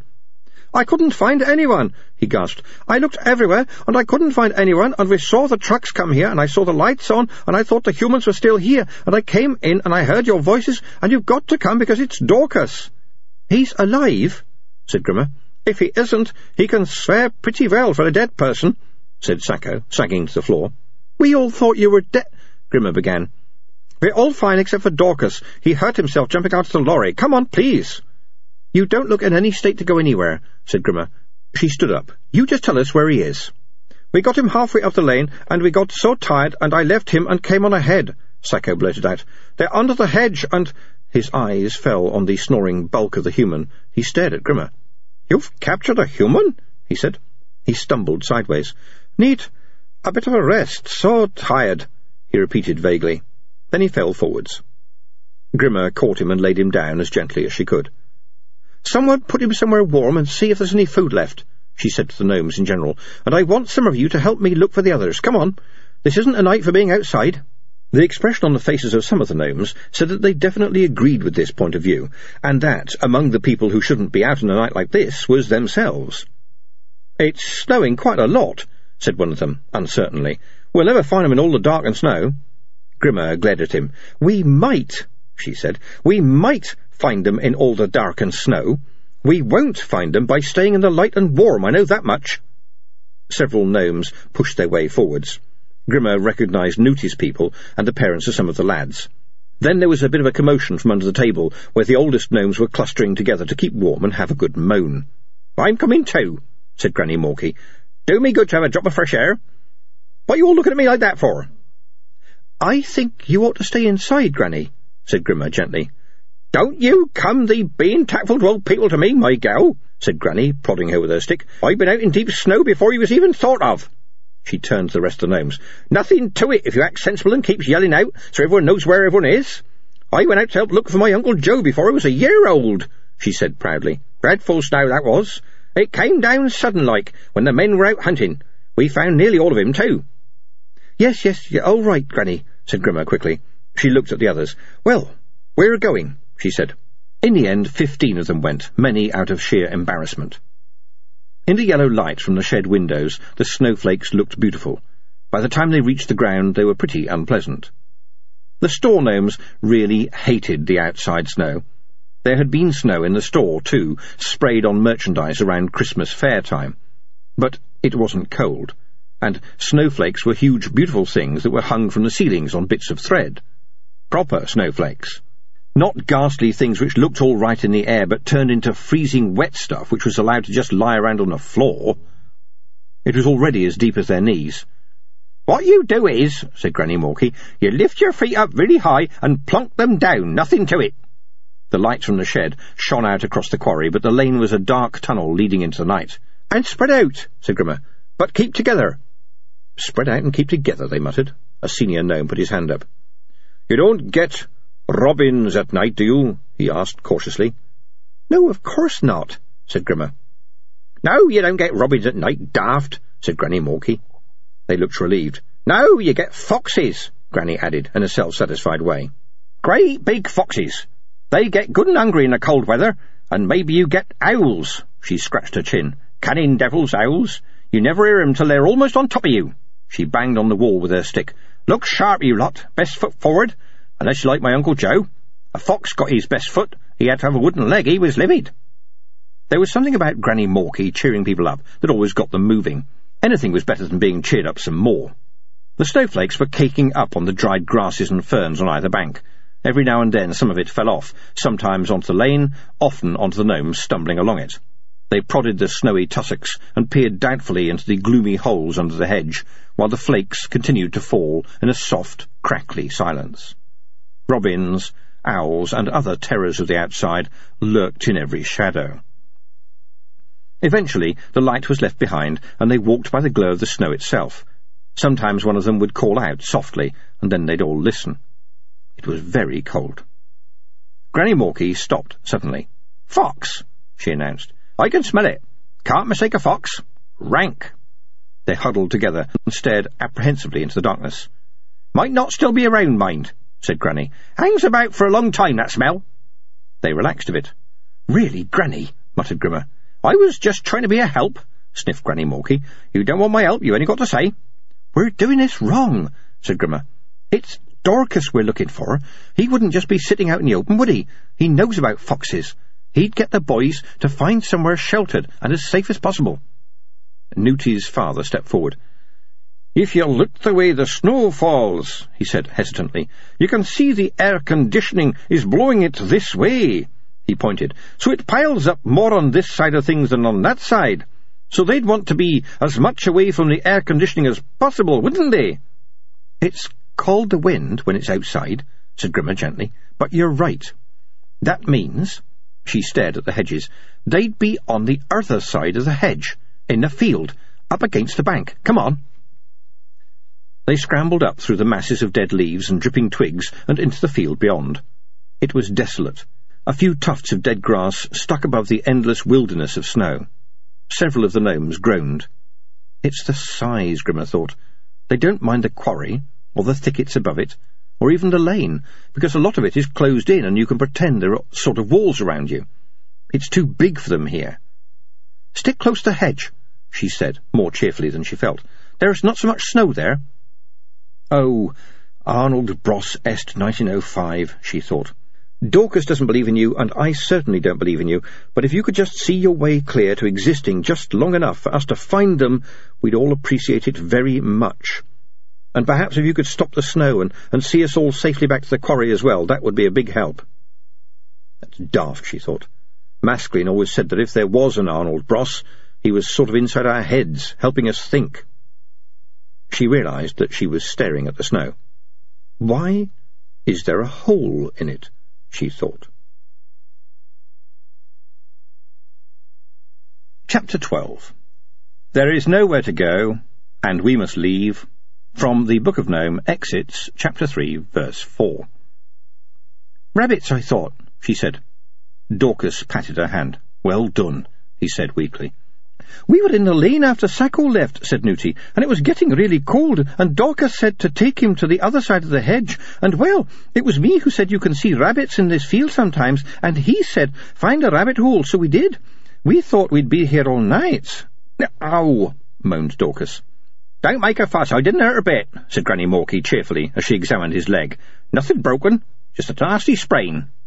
The store nomes looked around the burrow with interest and a certain amount of approval, it was nicely closed in. Your ancestors probably lived in holes like this, said Grimma, with shells and things, of course. Very nice, said a nome. Homely. Almost like being under the floor. Pongs a bit, mind, said another. That'll be the rabbits, said Dorcas, nodding toward the deeper darkness. We've heard them rustling about, but they're staying out of our way. Nooty said she thought there was a fox snuffling around a while ago. We'd better get you back as soon as possible, said Grimma. I don't think any fox would bother the pack of us. After all, the local ones know who we are. Eat a nome and you die, that's what they've learned. The nomes shuffled their feet. It was true, of course. The trouble was, they thought, that the person who'd really regret it the most would be the one nome who was eaten. Knowing that the fox might be given a bad time afterwards wouldn't be a lot of consolation. Besides, they were cold and wet, and the burrow, while it wouldn't have sounded a very comfortable proposition back at the quarry, was suddenly much better than the horrible night outside. They'd staggered past a dozen rabbit holes calling down into the gloom before they'd heard Nooty's voice answering them. I really don't think we need worry, said Grimma. Foxes learn very quickly. Isn't that so, Granny? Eh? said Granny Morky.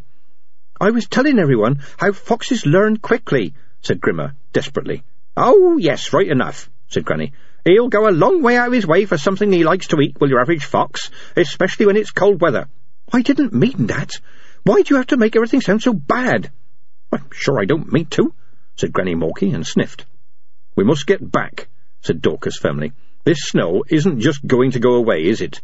I can get along okay if I've got someone to lean on. We can make you a stretcher, said Grimma, though goodness knows there isn't much to get back to.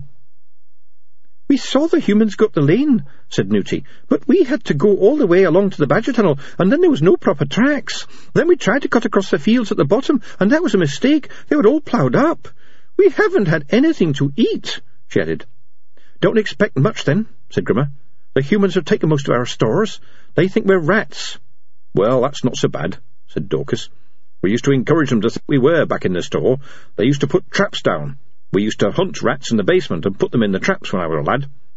Now they're using poisoned food, said Grimma. That's not good. Come on, let's get you back. The snow was still falling outside, but raggedy fashion, as if the last flakes in stock were being sold off cheaply. There was a line of red light in the east, not the dawn, but the promise of the dawn. It didn't look cheerful. When the sun did rise, it would find itself locked behind bars of cloud.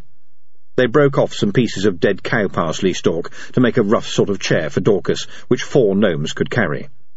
He'd been right about the shelter of the hedge. The snow wasn't very deep there, but it made up for it by being littered with old leaves, twigs, and debris.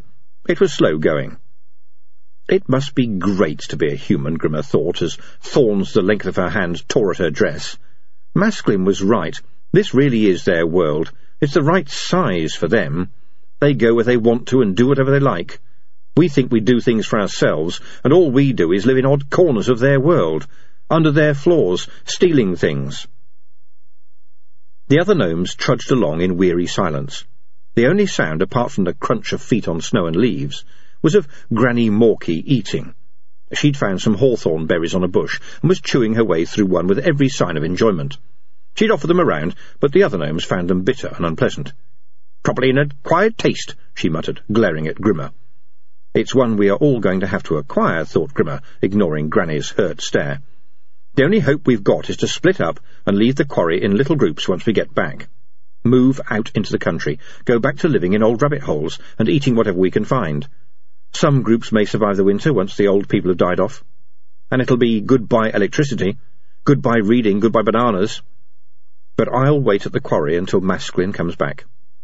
Cheer up, my girl, said Granny Morky, trying to be friendly. Don't look so gloomy. It may never happen, that's what I always say. Even Granny was shocked when Grimma looked at her with a face from which all the colour had drained away. The girl's mouth opened and shut a few times, then she folded up, very gently, and collapsed to her knees and started to sob. It was the most shocking sound they'd heard. Grimma yelled, complained, bullied, and commanded. Hearing her cry was wrong, as though the whole world had turned upside down. All I did was try and cheer her up, mumbled Granny Morky. The embarrassed nomes stood around in a circle. No one dared go near Grimma. Anything might happen. If you tried to pat her on the shoulder and say, there, there, anything might happen. She might bite your hand off or anything. Dorcas looked at the nomes on either side of him, sighed, and eased himself up off his makeshift carrier. He limped over to Grimma, catching hold of a thorn twig to steady himself. You've found us. We're going back to the quarry. Everything's all right, he said soothingly. It isn't. We'll, we'll have to move on, she sobbed. You'd have been better off staying in the hole. It's all gone wrong. Well, I would have said, Dorcas began. We've got no food and we can't stop the humans and we're trapped in the quarry and I've tried to keep everyone together and now it's all gone wrong. We ought to have gone up to that barren right at the start, said Nooty. You still could, said Grimma. All the younger people could. Just get as far away from here as possible. But children couldn't walk it, and old people certainly couldn't manage the snow, said Dorcas. You know that. You're just despairing. We've tried everything. It's just got worse. We thought it would be a lovely life in the outside, and now it's all falling to bits. Dorcas gave her a long, blank look. We might as well give up right now, she said. We might as well give up and die right here. There was a horrified silence. It was broken by Dorcas. Uh, he said. Uh, are you sure? Are you really sure? The tone of his voice made Grimma look up. All the nomes were staring. There was a fox looking down at them. It was one of those moments when time itself freezes solid. Grimma could see the yellow-green glow in the fox's eyes and a cloud of its breath. Its tongue lolled out. It looked surprised. It was new to these parts, and had never seen nomes before. Its not very complicated mind was trying to come to terms with the fact that the shape of the nomes, two arms, two legs, and a head at the top, was a shape it associated with humans, and had learnt to avoid, but the size was the size it had always thought of as a mouthful. The nomes stood rooted in terror. There was no sense in trying to run away. A fox had twice as many legs to run after you. You'd end up dead anyway, but at least you wouldn't end up dead and out of breath as well. There was a growl. To the nome's astonishment, it had come from Grimma. She snatched Granny Morky's walking stick, strode forward, and whacked the fox across the nose before it could move. It yelped and blinked stupidly. Push off! she shouted. How dare you come here? She hit it again. It jerked its head away. Grimma took another step forward and caught it a backward thump across the muzzle. The fox made up its mind. There were definitely rabbits further down the hedge. Rabbits didn't hit back. It was a lot happier about rabbits. It whined, backed away with its eyes fixed on Grimma, and then darted off into the darkness. The nomes breathed out. Well, said Dorcas. I'm sorry, but I just can't stand foxes, said Grimma, and Masklin said we should let them know who's boss. I'm not arguing, said Dorcas. Grimma looked vaguely at the stick. What was I saying before that? she said. You were saying we might as well give up and die right here, said Granny Morky, helpfully. Grimma glared at her. No, I wasn't, she said. I was just feeling a bit tired, that's all. Come on, we'll catch our death standing here. Or the other way round, said Sacco, staring into the fox-haunted darkness. That's not funny, snapped Grimma, striding off. I didn't mean it to be, said Sacco, shivering. Overhead, quite unnoticed by the nomes, a rather strangely bright star zigzagged across the sky. It was small, or perhaps it was very big, but a long way off. If you looked at it long enough, it might just have appeared disc-shaped. It was causing a lot of messages to be sent through the air, all around the world. It seemed to be looking for something. There were flickering lights in the quarry by the time they got back. Another group of nomes was about to set out to look for them. Not with much enthusiasm, admittedly, but they were going to try. The cheer that went up when it was realised that everyone was safely back almost made Grimma forget that they were safely back to a very unsafe place. She'd read something in the Book of Proverbs that summed it up perfectly. As far as she could remember, it was something about jumping out of the thing you cook in and into the thing you cooked on. Or something. Grimma led the rescue party into the office and listened while Sacco, with many interruptions, recounted the adventure from the time Dorcas, out of sudden terror, had jumped out of the truck and had been carried off the rails just before the train arrived. It sounded brave and exciting. And pointless, Grimma thought, but she kept that to herself. It wasn't as bad as it looked, Sacco said. I mean, the truck was smashed, but the train didn't even come off the rails. We all saw it, he finished. I'm starving. He gave them a bright smile, which faded like a sunset. There's no food, he said. Even less than that, said a nome. If you've got some bread, we could have a snow sandwich. Sacco thought about this. There's the rabbits, he said. There were rabbits in the field. And in the dark, said Dorcas, who appeared to have something on his mind. Well, yes, admitted Sacco. And with that fox hanging about, said Nooty. Another proverb floated up in Grimma's mind. Needs must, she said, when the devil drives. They looked at her in the flickering light of the matches. Who's he? said Nooty. Some sort of horrible person that lives under the ground in a hot place, I think, said Grimma. Like the boiler room in the store? I suppose so. What sort of vehicle does he drive? said Sacco, looking interested.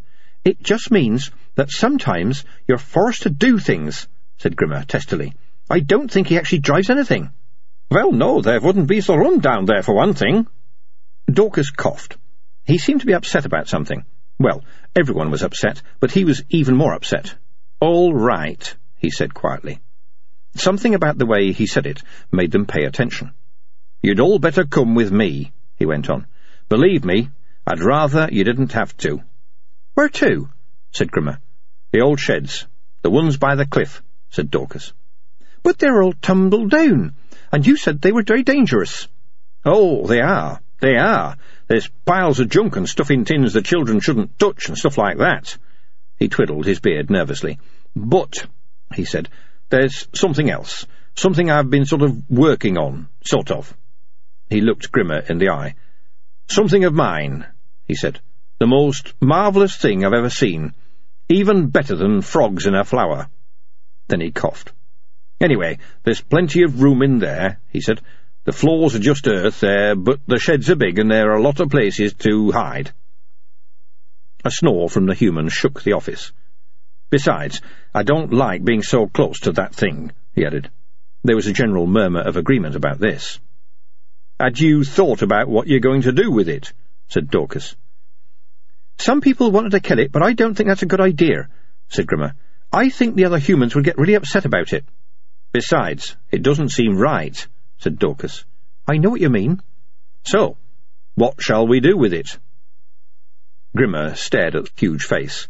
Every pore, every hair was huge. It was strange to think that if there were creatures smaller than nomes, little people perhaps the size of ants, her own face might look like that.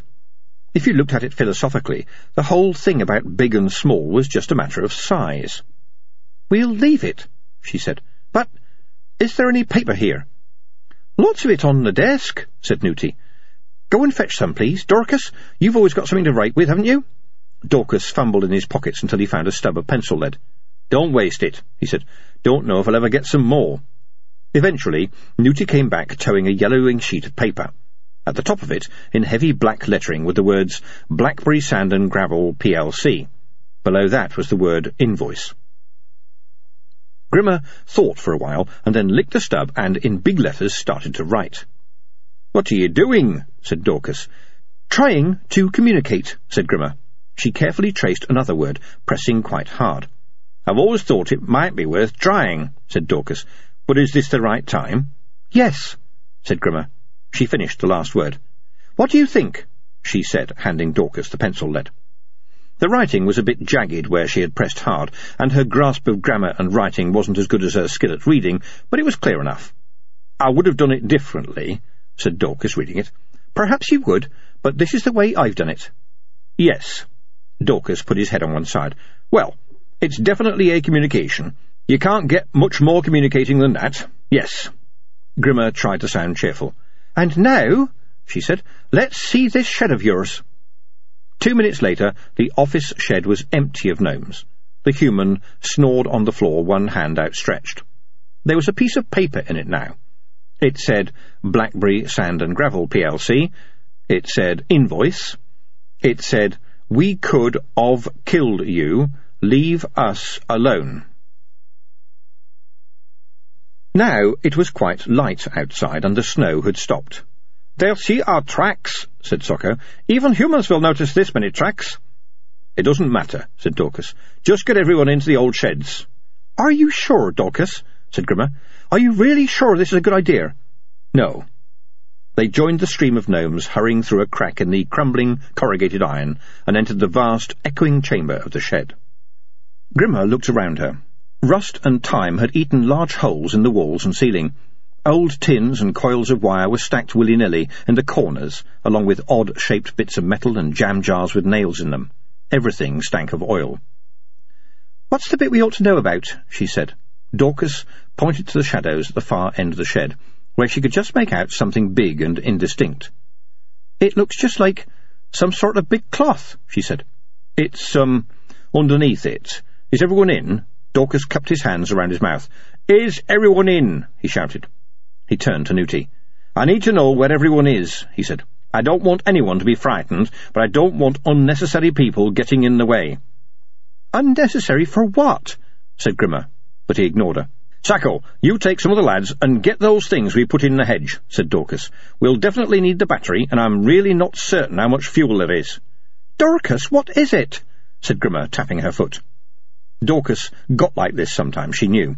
When he was thinking about machines, or things he could do with his hands, he started to ignore people. His voice changed, too. He gave her a long, slow look, as if he was seeing her for the first time. Then he looked down at his feet. "'You'd better uh, come and see,' he said. "'I shall need you to explain things to everyone. You're so much better at that sort of thing.' Grimma followed him across the chilly floor as more nomes filed into the shed and huddled apprehensively along the walls. He led her under the shadow of the tarpaulin, which formed a sort of big dusty cave. A tyre like a truck's loomed up a little way away in the gloom, but it was far more knobbly than any she had seen. "'Oh, it's just a truck,' she said uncertainly. "'You've got a truck in here, have you?' Dorcas said nothing. He just pointed upwards. Grimma looked up and then looked up some more, into the mouth of Jekub.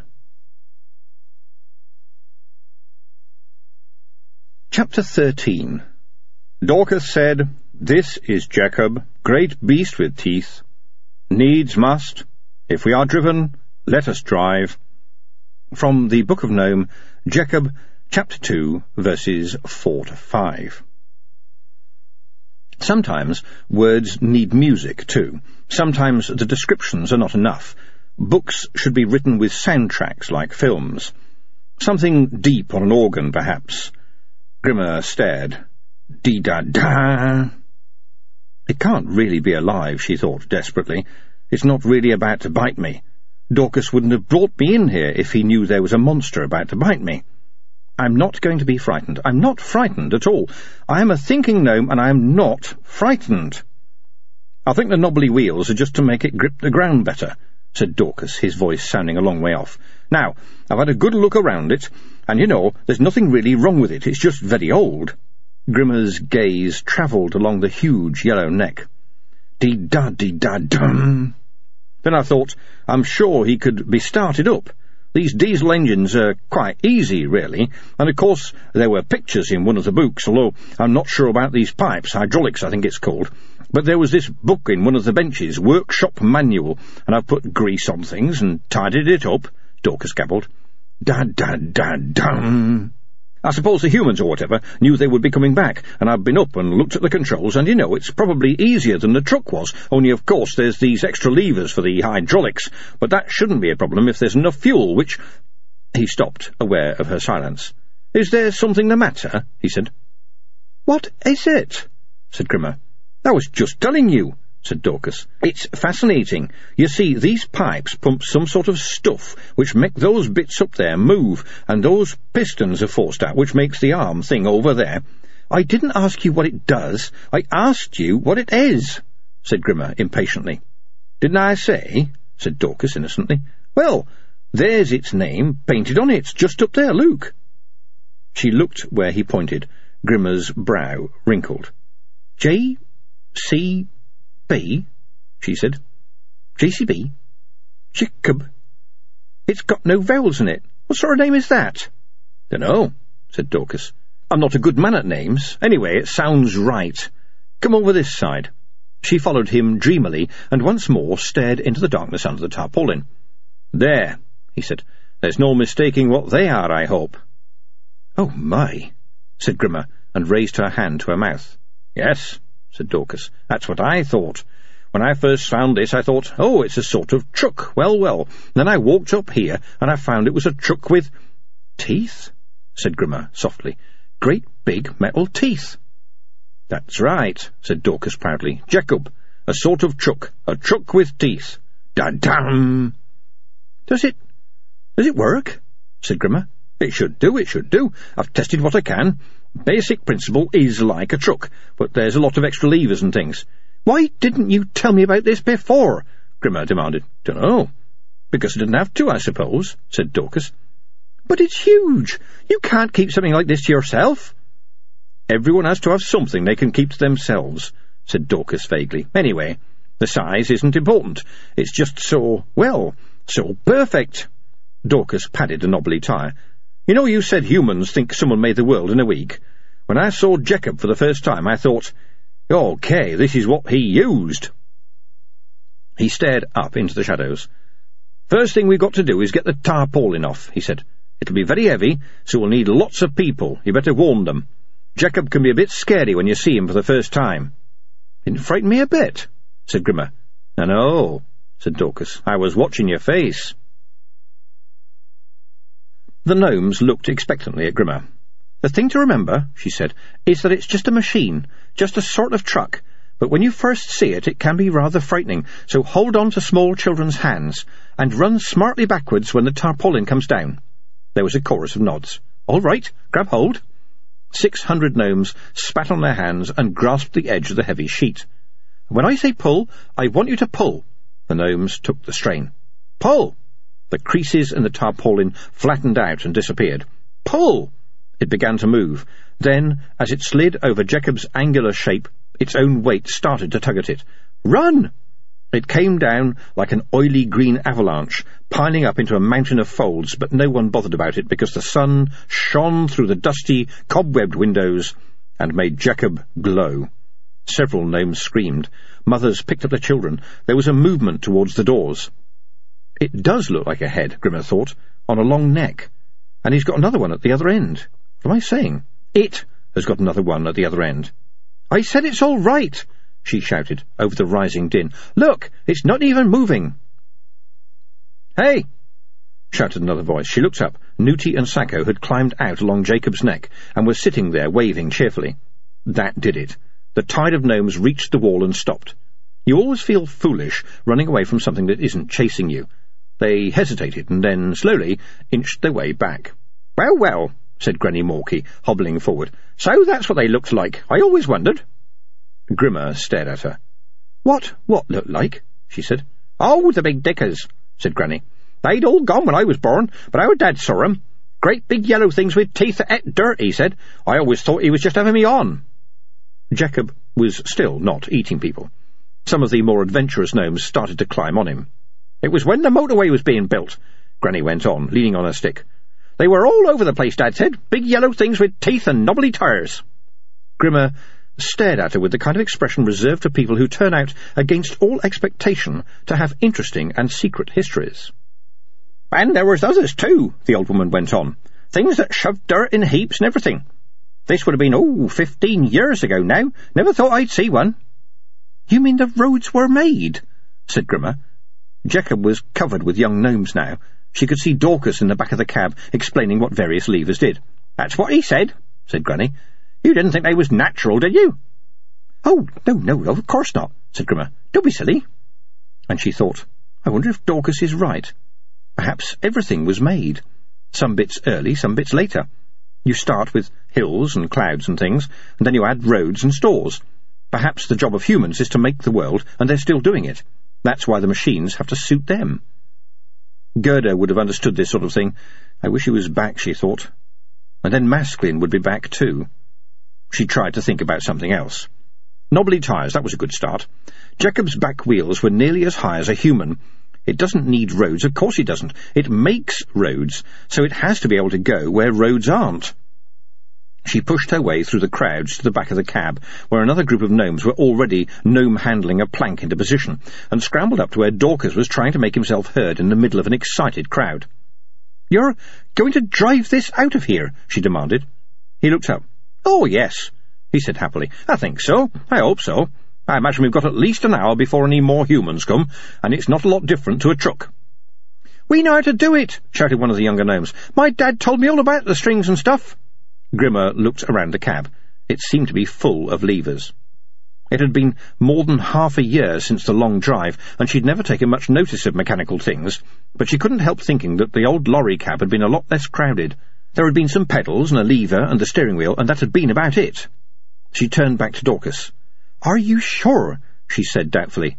No, he said. You know I'm never sure. But a lot of the controls are for his mouth, uh, for the bucket, the thing with the teeth in it. At the end of his neck. I mean, the digging bits. We needn't bother with them. They're amazingly ingenious, though, and all you have to do... Where's everyone going to sit? There isn't much room. Dorcas shrugged. I suppose the older people can travel in the cab. The youngsters will have to hang on where they can. We can wrap wires and things around the place, for handholds, I mean. Look, don't worry, we'll be driving in the light and we don't have to go fast. And then we'll get to the barn, won't we, Dorcas? said Nooty, where it'll be warm and there's lots of food. I hope so, said Dorcas. Now, let's get on with things. We haven't got much time. Where's Sacco with the battery? Grimma thought, will there be lots of food at the barn? Where did we get that idea? Angalo said that turnips or something were stored up there, and there may be some potatoes. That's not exactly a feast. Her stomach, thinking thoughts of its own, rumbled in disagreement. It had been a very long night to pass on a tiny piece of sandwich. Anyway, we can't stay here now. Anywhere will be better than here. Dorcas, she said, is there anything I can help with? He looked up. You could read the instruction book, he said. See if it says how to drive it. Don't you know? Uh, not in so many words, not exactly. I mean, I know how to do it, it's just that I don't know what to do. The book was under the bench on one side of the shed. Grimma propped it up and tried to concentrate above the noise. I bet he does know, she thought. But this is his moment, and he doesn't want me getting in the way. The nomes moved like people with a purpose. Things were far too bad to spend time grumbling. Funny thing, she thought as she turned the grubby pages, that people only seem to stop complaining when things get really bad. That's when they start using words like pulling together, shoulders to the wheel and noses to the grindstone. She'd found nose to the grindstone in a book. Apparently it meant to get on with things. She didn't see why people were supposed to work hard if you ground their noses. It seemed more likely that they'd work hard if you promised to grind their noses if they didn't. It had been the same with road works ahead on the long drive. The road ahead works. How could it mean anything else? But the road had been full of holes. Where was the sense in that? Words ought to mean what they meant. She turned the page. There was a big brown ring on this one where a human had put down a cup. Across the floor, a group of nomes swarmed past around the slowly moving bulk of the battery. They were rolling it on rusty ball bearings. The can of fuel wobbled past after it. Grimma stared at the pictures of levers with numbers on. Suddenly people were keen on the barn. Suddenly, when things were not just averagely awful but promising to be really dreadful, they seemed almost happy. Masklin had known about that. It's amazing what people would do, he said, if you found the right place to push. She stared at the pages and tried to get interested in levers. The clouds running before the sun were spreading across the pink of the sky.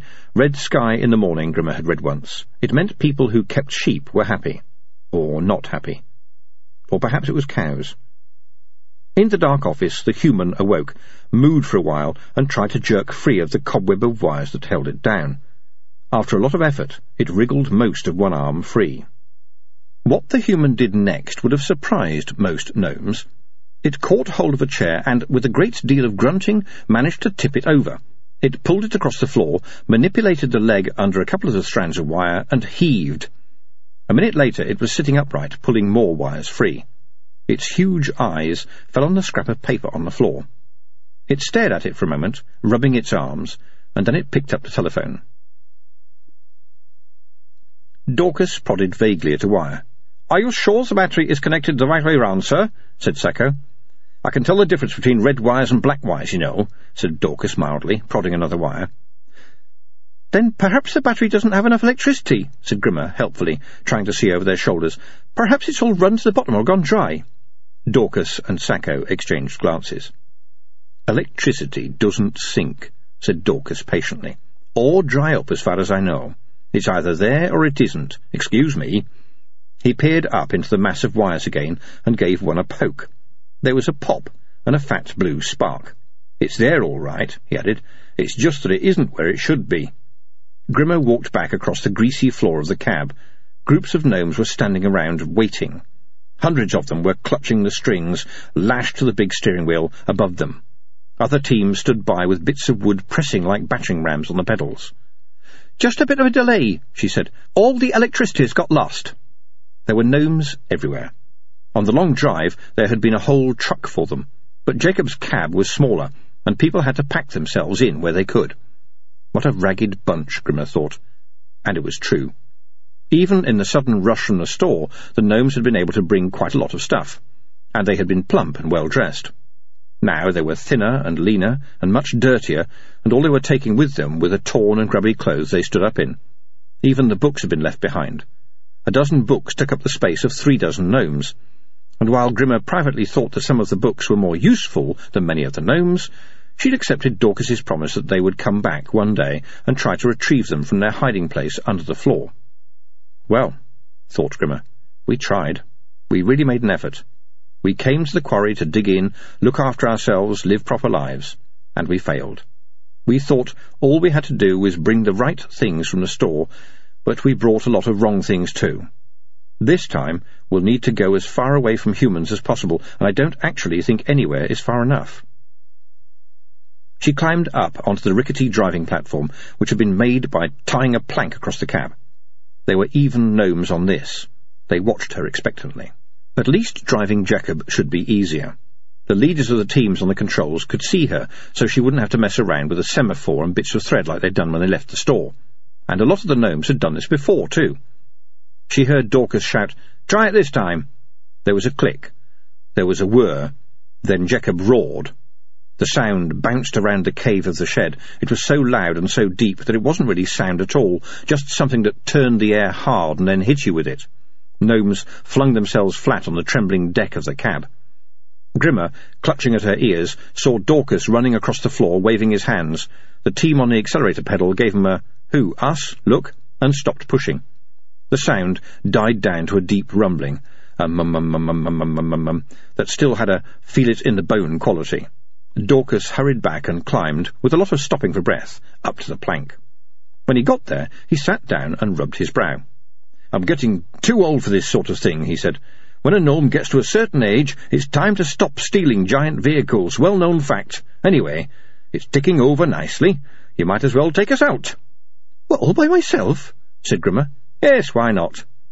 It's just that, well, I thought Sacco or someone would be up here.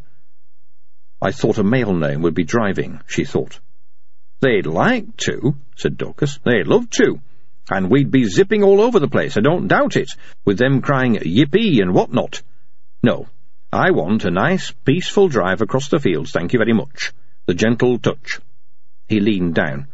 Everyone ready down there? he yelled. There was a chorus of nervous yeses and one or two cheerful ones. I wonder if putting Sacco in charge of the Go Faster pedal is really a good idea, mused Dorcas. He straightened up. Eh, you're not worried, are you? he said. Grimma snorted. What, me? Of course not. It does not, she added, present a problem. Okay, he said. Let's go. There was silence, except for the deep thrumming of the engine. Grimma paused. If Masklin were here, she thought, he'd do this better than me. No one mentions him any more, or Angalo, or Gurder. They don't like thinking about them. That must be something nomes learned hundreds of years ago in this place full of foxes and rushing things and a hundred nasty ways to die. If someone goes missing, you must stop thinking about them. You must put them out of your mind. But I think about him all the time. I just went on about the frogs in the flowers, and I never thought about his dreams. Dorcas gently put his arm around her. She was shaking. We should have sent some people to the airport, she muttered. It would have showed that we cared, and we didn't have the time, and we didn't have the people, said Dorcas softly. When he comes back, we can explain about that. He's bound to understand. Yes, she whispered. And now, said Dorcas, standing back, let's go. Grimma took a deep breath. First gear, she bellowed, and go forward very slowly. The teams pushed and pulled their way over the deck. There was a slight shudder, and the engine noise dropped. Jekub lurched forward and jolted to a stop. The engine coughed and died. Dorcas looked thoughtfully at his fingernails. Handbrake, handbrake, handbrake, he hummed softly. Grimma glared at him and cupped her hands around her mouth. Take the handbrake off, she shouted. Right! Now get into first gear and go forward very slowly. There was a click and silence. Start the engine, start the engine, start the engine, murmured Dorcas, rocking back and forth on his heels. Grimma sagged. Put everything back where it was and start the engine, she screamed. Nooty, in charge of the handbrake team, called up, Do you want us to take the handbrake on or off, miss? What? You haven't told us what to do with the handbrake, miss, said Sacco. The nomes with him started to grin. Grimma shook a finger at him. Listen, she snapped. If I have to come down there and tell you what to do with the handbrake, you'll all be extremely sorry, all right? Now stop giggling like that and get this thing moving, quickly. There was a click. Jekub roared again and started to move. A cheer went up from the nomes. Right, said Grimma. That's more like it. The doors, the doors, the doors. We didn't open the doors, hummed Dorcas. Of course we didn't open the doors, said Grimma as the digger began to go faster. What do we need to open the doors for? This is Jekub. Chapter 14 There is nothing that can be in our way, for this is Jekub that laughs at barriers and says brum brum. From the Book of Nome, Jekub, chapter 3, verse 5. It was a very old shed. It was a very rusty shed. It was a shed that wobbled in high winds. The only thing even vaguely new about it was the padlock on the door, which Jekub hit at about six miles an hour. The rickety building rang like a gong, leapt off its foundations, and was dragged halfway across the quarry before it fell apart in a shower of rust and smoke. Jekub emerged like a very angry chick from a very old egg, and then rolled to a stop. Grimma picked herself up from the plank and nervously started to pick bits of rust off herself. "'We've stopped,' she said vaguely, her ears still ringing. "'Why have we stopped, Dorcas?' He didn't bother to try to get up. The thump of Jekub hitting the door had knocked all the breath out of him. I think, he said, that everyone might have been flung about a bit. Why did you want it to go so fast? Sorry, Sacco called up. Bit of a misunderstanding there, I think. Grimma pulled herself together. Well, she said, I got us out anyway. I've got the hang of it now. We'll just, we'll just, uh, we'll, we'll... Dorcas heard her voice fade into silence. He looked up. There was a truck parked in front of the quarry, and three humans were running towards Jekub in big, floating bounds. Oh, dear, he said. Didn't it read my note? wondered Grimma aloud. I'm afraid it did, said Dorcas. Now, we shouldn't panic. We've got a choice. We can either... Go forward, snapped Grimma. Right now. No, no, said Dorcas weakly. I wasn't going to suggest that. First gear, Grimma commanded, and lots of fast. No, you don't want to do that, Dorcas murmured. Watch me, said Grimma. I warned them. They can read. We know they can read. If they're really intelligent, they're intelligent enough to know better. Jekub gathered speed. You mustn't do this, said Dorcas. We've always kept away from humans. They don't keep away from us, shouted Grimma. But... They demolished the store, they tried to stop us escaping, and now they're taking out Corrie, and they don't even know what we are, said Grimma. Remember the gardening department in the store? Those horrible statues of garden ornaments? Well, I'm going to show them real nomes.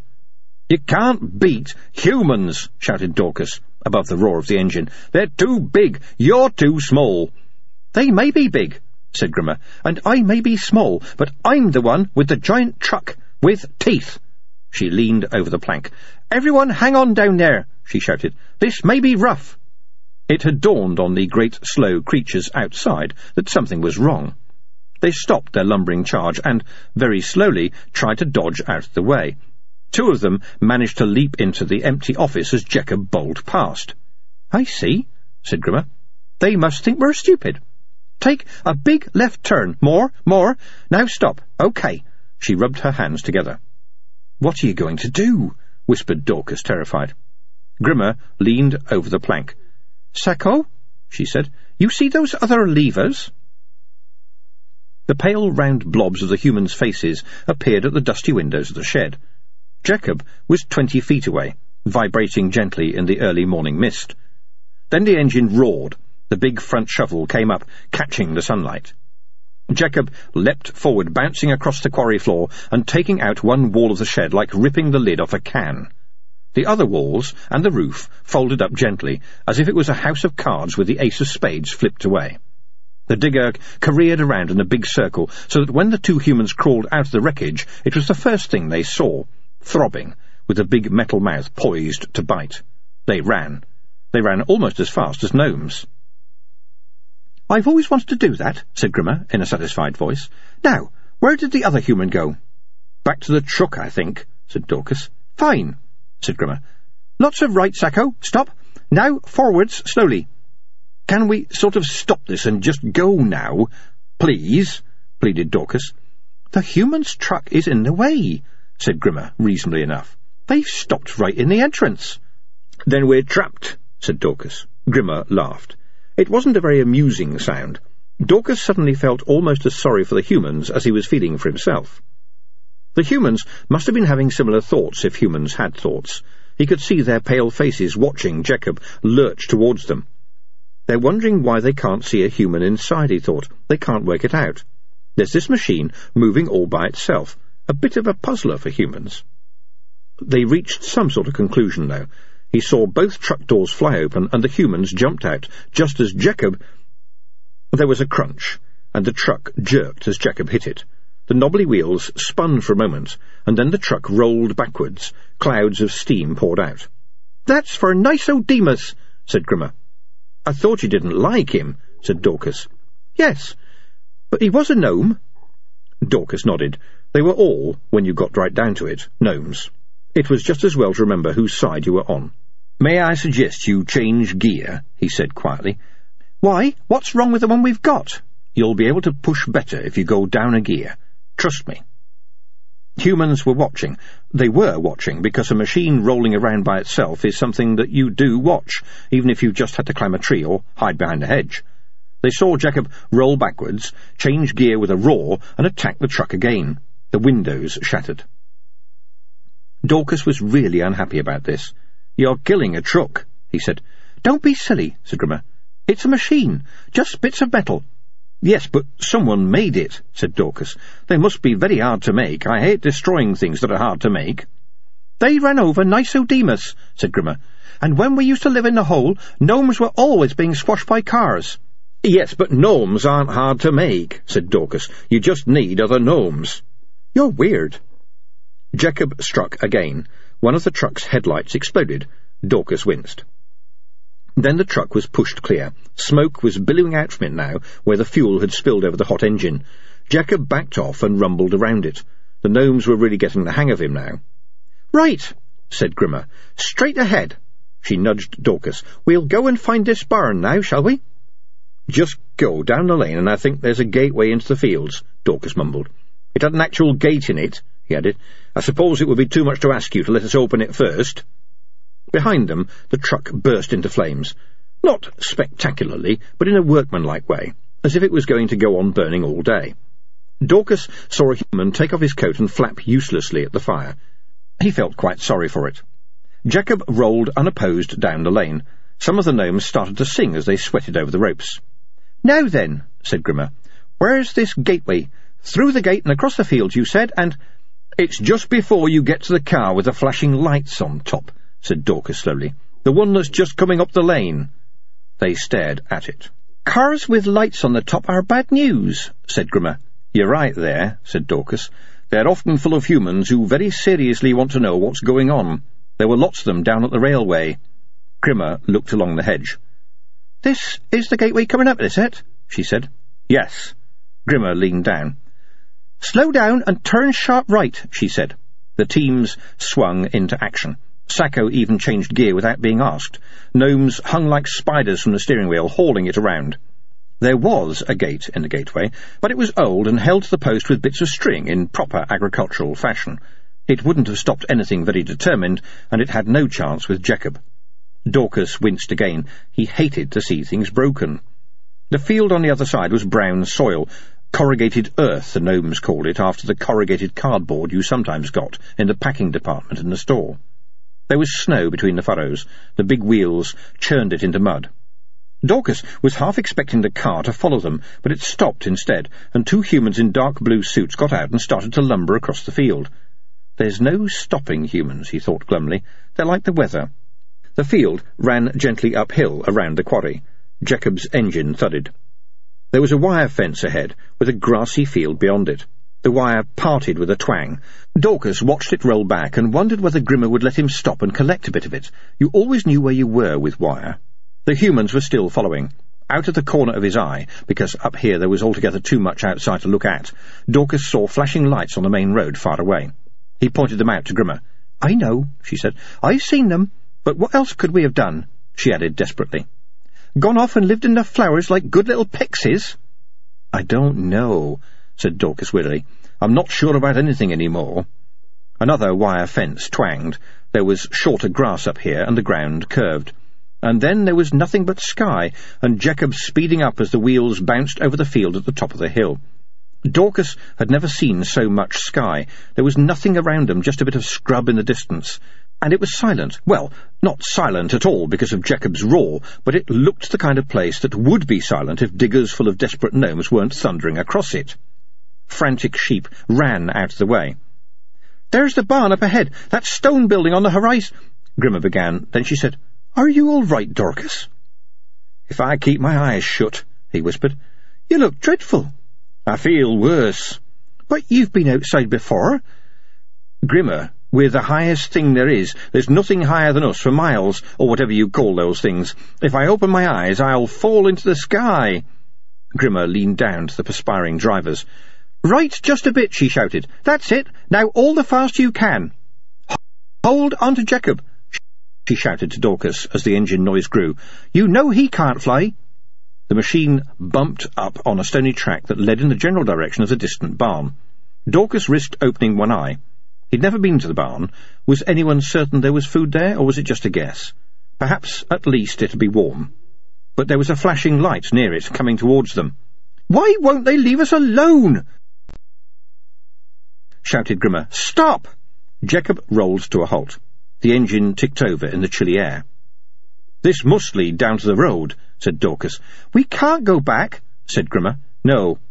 All forwards. No. Grimma drummed her fingers on Jekub's metal. Have you got any other ideas? We could try going across the fields, said Dorcas. Where would that take us? said Grimma. Away from here for a start. But we wouldn't know where we were going, said Grimma. Dorcas shrugged. It's either that or paint flowers.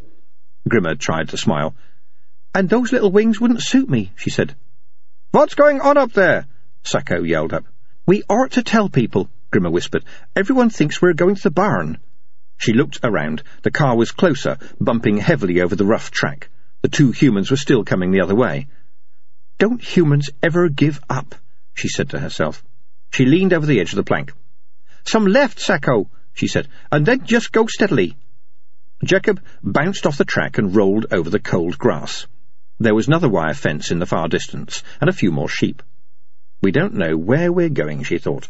The only important thing is to go. Masklin was right. This isn't our world. Perhaps we should have talked to humans, she said aloud. No, you were right, said Dorcas. In this world, everything belongs to humans, and we would belong to them too. There wouldn't be any room for us to be us. The fence came closer. There was a road on the other side. Not a track, but a proper road with black stone on it. Right or left? said Grimma. What do you think? It doesn't matter, said Dorcas as the digger twanged through the fence. We'll try going left then, she said. Slow down, Sacco. Left a bit. More, more. Steady at that. Oh, no. There was another car in the distance. It had a flashing light on top. Dorcas risked a look behind them. There was another flashing light there. No, he said. What? said Grimma. Just a little while ago you asked if humans ever gave up, he said. They don't. Stop, said Grimma. The teams trotted obediently across Jekub's floor. The digger rolled gently to a halt again, engine ticking over. This is it, said Dorcas. Are we at the barn yet? a nome called up. No, said Grimma. Not yet. Nearly. Dorcas made a face. We might as well accept it now, he said. You'll end up waving a stick with a star on it. I just hope they don't force me to mend their shoes. Grimma looked thoughtful. If we drove as hard as we could at that car coming towards us, she began. No, said Dorcas, firmly. It really wouldn't solve anything. It'd make me feel a lot better, said Grimma. She looked around at the fields. Why is it all gone dark? she said. We can't have been running all day. It was early morning when we started out. Doesn't time fly when you're enjoying yourselves? said Dorcas gloomily. And I don't like milk much. I don't mind doing their housework if I don't have to drink milk, but... Just look, will you? Darkness was spreading across the fields. It might be an ellipse, said Dorcas. I read about them. It goes all dark when the sun covers the moon. And possibly vice versa, he added doubtfully. The car ahead of them squealed to a halt, crashed backwards across the road into a stone wall, and came to an abrupt stop.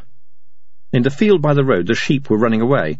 It wasn't the ordinary panic of sheep ordinarily disturbed. They had their heads down and were pounding across the ground with one aim in mind. They were sheep who had decided that this was no time to waste energy panicking when it could be used for galloping away as fast as possible. A loud and unpleasant humming sound filled the air. My word, Dorcas said weakly. They're pretty damn terrifying, these ellipses. Down below, the nomes were panicking. They weren't sheep. Every nome could think for itself, and when you started to think hard about sudden darkness and mysterious humming noises, panicking seemed a logical idea. Little lines of crawling blue fire crackled over Jekub's battered paintwork. Dorcas felt his hair standing on end. Grimma stared upwards. The sky was totally black. It's all right, she said slowly. Do you know, I think it's all right. Dorcas looked at his hands. Sparks crackled off his fingertips. It is, is it? was all he could think of to say. That isn't night. It's a shadow. There's something huge floating above us. And that's better than night, is it? said Dorcas. I think so. Come on, let's get off. She shinned down the rope to Jekub's deck. She was smiling madly. That was almost as terrifying as everything else put together. They weren't used to Grimma smiling. Give me a hand, she said. We've got to get down, so we can be sure it's us. They looked at her in astonishment as she wrestled with the gangplank. Come on, she repeated. Help me, can't you? They helped. Sometimes, when you're totally confused, you'll listen to anyone who seems to have any sort of aim in mind. They grabbed the plank and shoved it out of the back of the cab until it tilted and swung down towards the floor. At least there wasn't so much sky now. The blue was a thin line around the edge of the solid darkness overhead. Not entirely solid. When Dorcas's eyes grew used to it, he could make out squares and rectangles and circles. Nomes scurried down the plank and milled around on the road below, uncertain whether to run or stay. Above them, one of the dark squares in the shadow moved aside. There was a clank, and then a rectangle of darkness whirred down very gently, like a lift without wires, and landed softly on the road. It was quite big. There was something on it. Something in a pot. Something red and yellow and green. The nomes craned forward to see what it was. Chapter 15 Thus ended the journey of Jekub, and the nomes fled, looking not behind. From the Book of Nome, Strange Frogs, Chapter 1, Verse 1. Dorcas clambered down awkwardly onto Jekub's oily deck. It was empty now, except for the bits of string and wood that the nomes had used. They've dropped things just any old how, he thought, listening to the distant chattering of the nomes. It's not right leaving litter. Poor old Jekub deserves more than this. There was some sort of excitement going on outside, but he didn't pay it much attention. He bumbled around for a bit, trying to coil up the string and push the wood into tidy heaps. He pulled down the wires that had let Jekub taste the electricity. He got down on his hands and knees and tried to rub out the muddy footprints.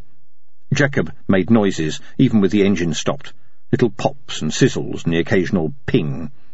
Dorcas sat down and leaned against the yellow metal. He didn't know what was going on. It was so far outside anything he'd ever seen before that his mind wasn't letting him worry about it.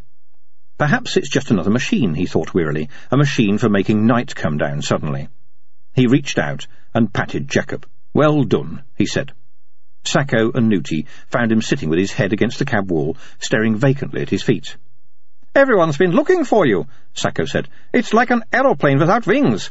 It's just floating there in the air, so you must come and tell us what makes it go. I say, are you all right? Hmm? Are you all right? said Nooty. You look rather odd. Dorcas nodded slowly. Just a bit worn out, he said. Yes, but, you see, we need you, said Sacco insistently. Dorcas groaned and allowed himself to be helped to his feet. He took a last look around the cab. It really went, didn't it? he said. It really went very well, all things considered, for his age. He tried to give Sacco a cheerful look. What are you talking about? said Sacco. All that time in that shed, since the world was made, perhaps, and I just greased him and fueled him up, and away he went, said Dorcas. The machine? Oh, yes, well done, said Sacco. But... Nooty pointed upwards. Dorcas shrugged. Oh, I'm not bothered about that, he said. It's probably Masklin's doing. Perfectly simple explanation. Grimma is right. It's probably that flying thing he went off to get. But something's come out of it, said Nooty. Not Masklin, you mean? It's some kind of plant. Dorcas sighed. Always one thing after another. He patted Jekub again. Well, I care, he said. He straightened up and turned to the others. All right, he said. Show me. It was in a metal pot in the middle of the floating platform. The nomes craned and tried to climb on one another's shoulders to look at it, and none of them knew what it was except for Grimma, who was staring at it with a strange, quiet smile on her face. It was a branch from a tree. On the branch was a flower the size of a bucket.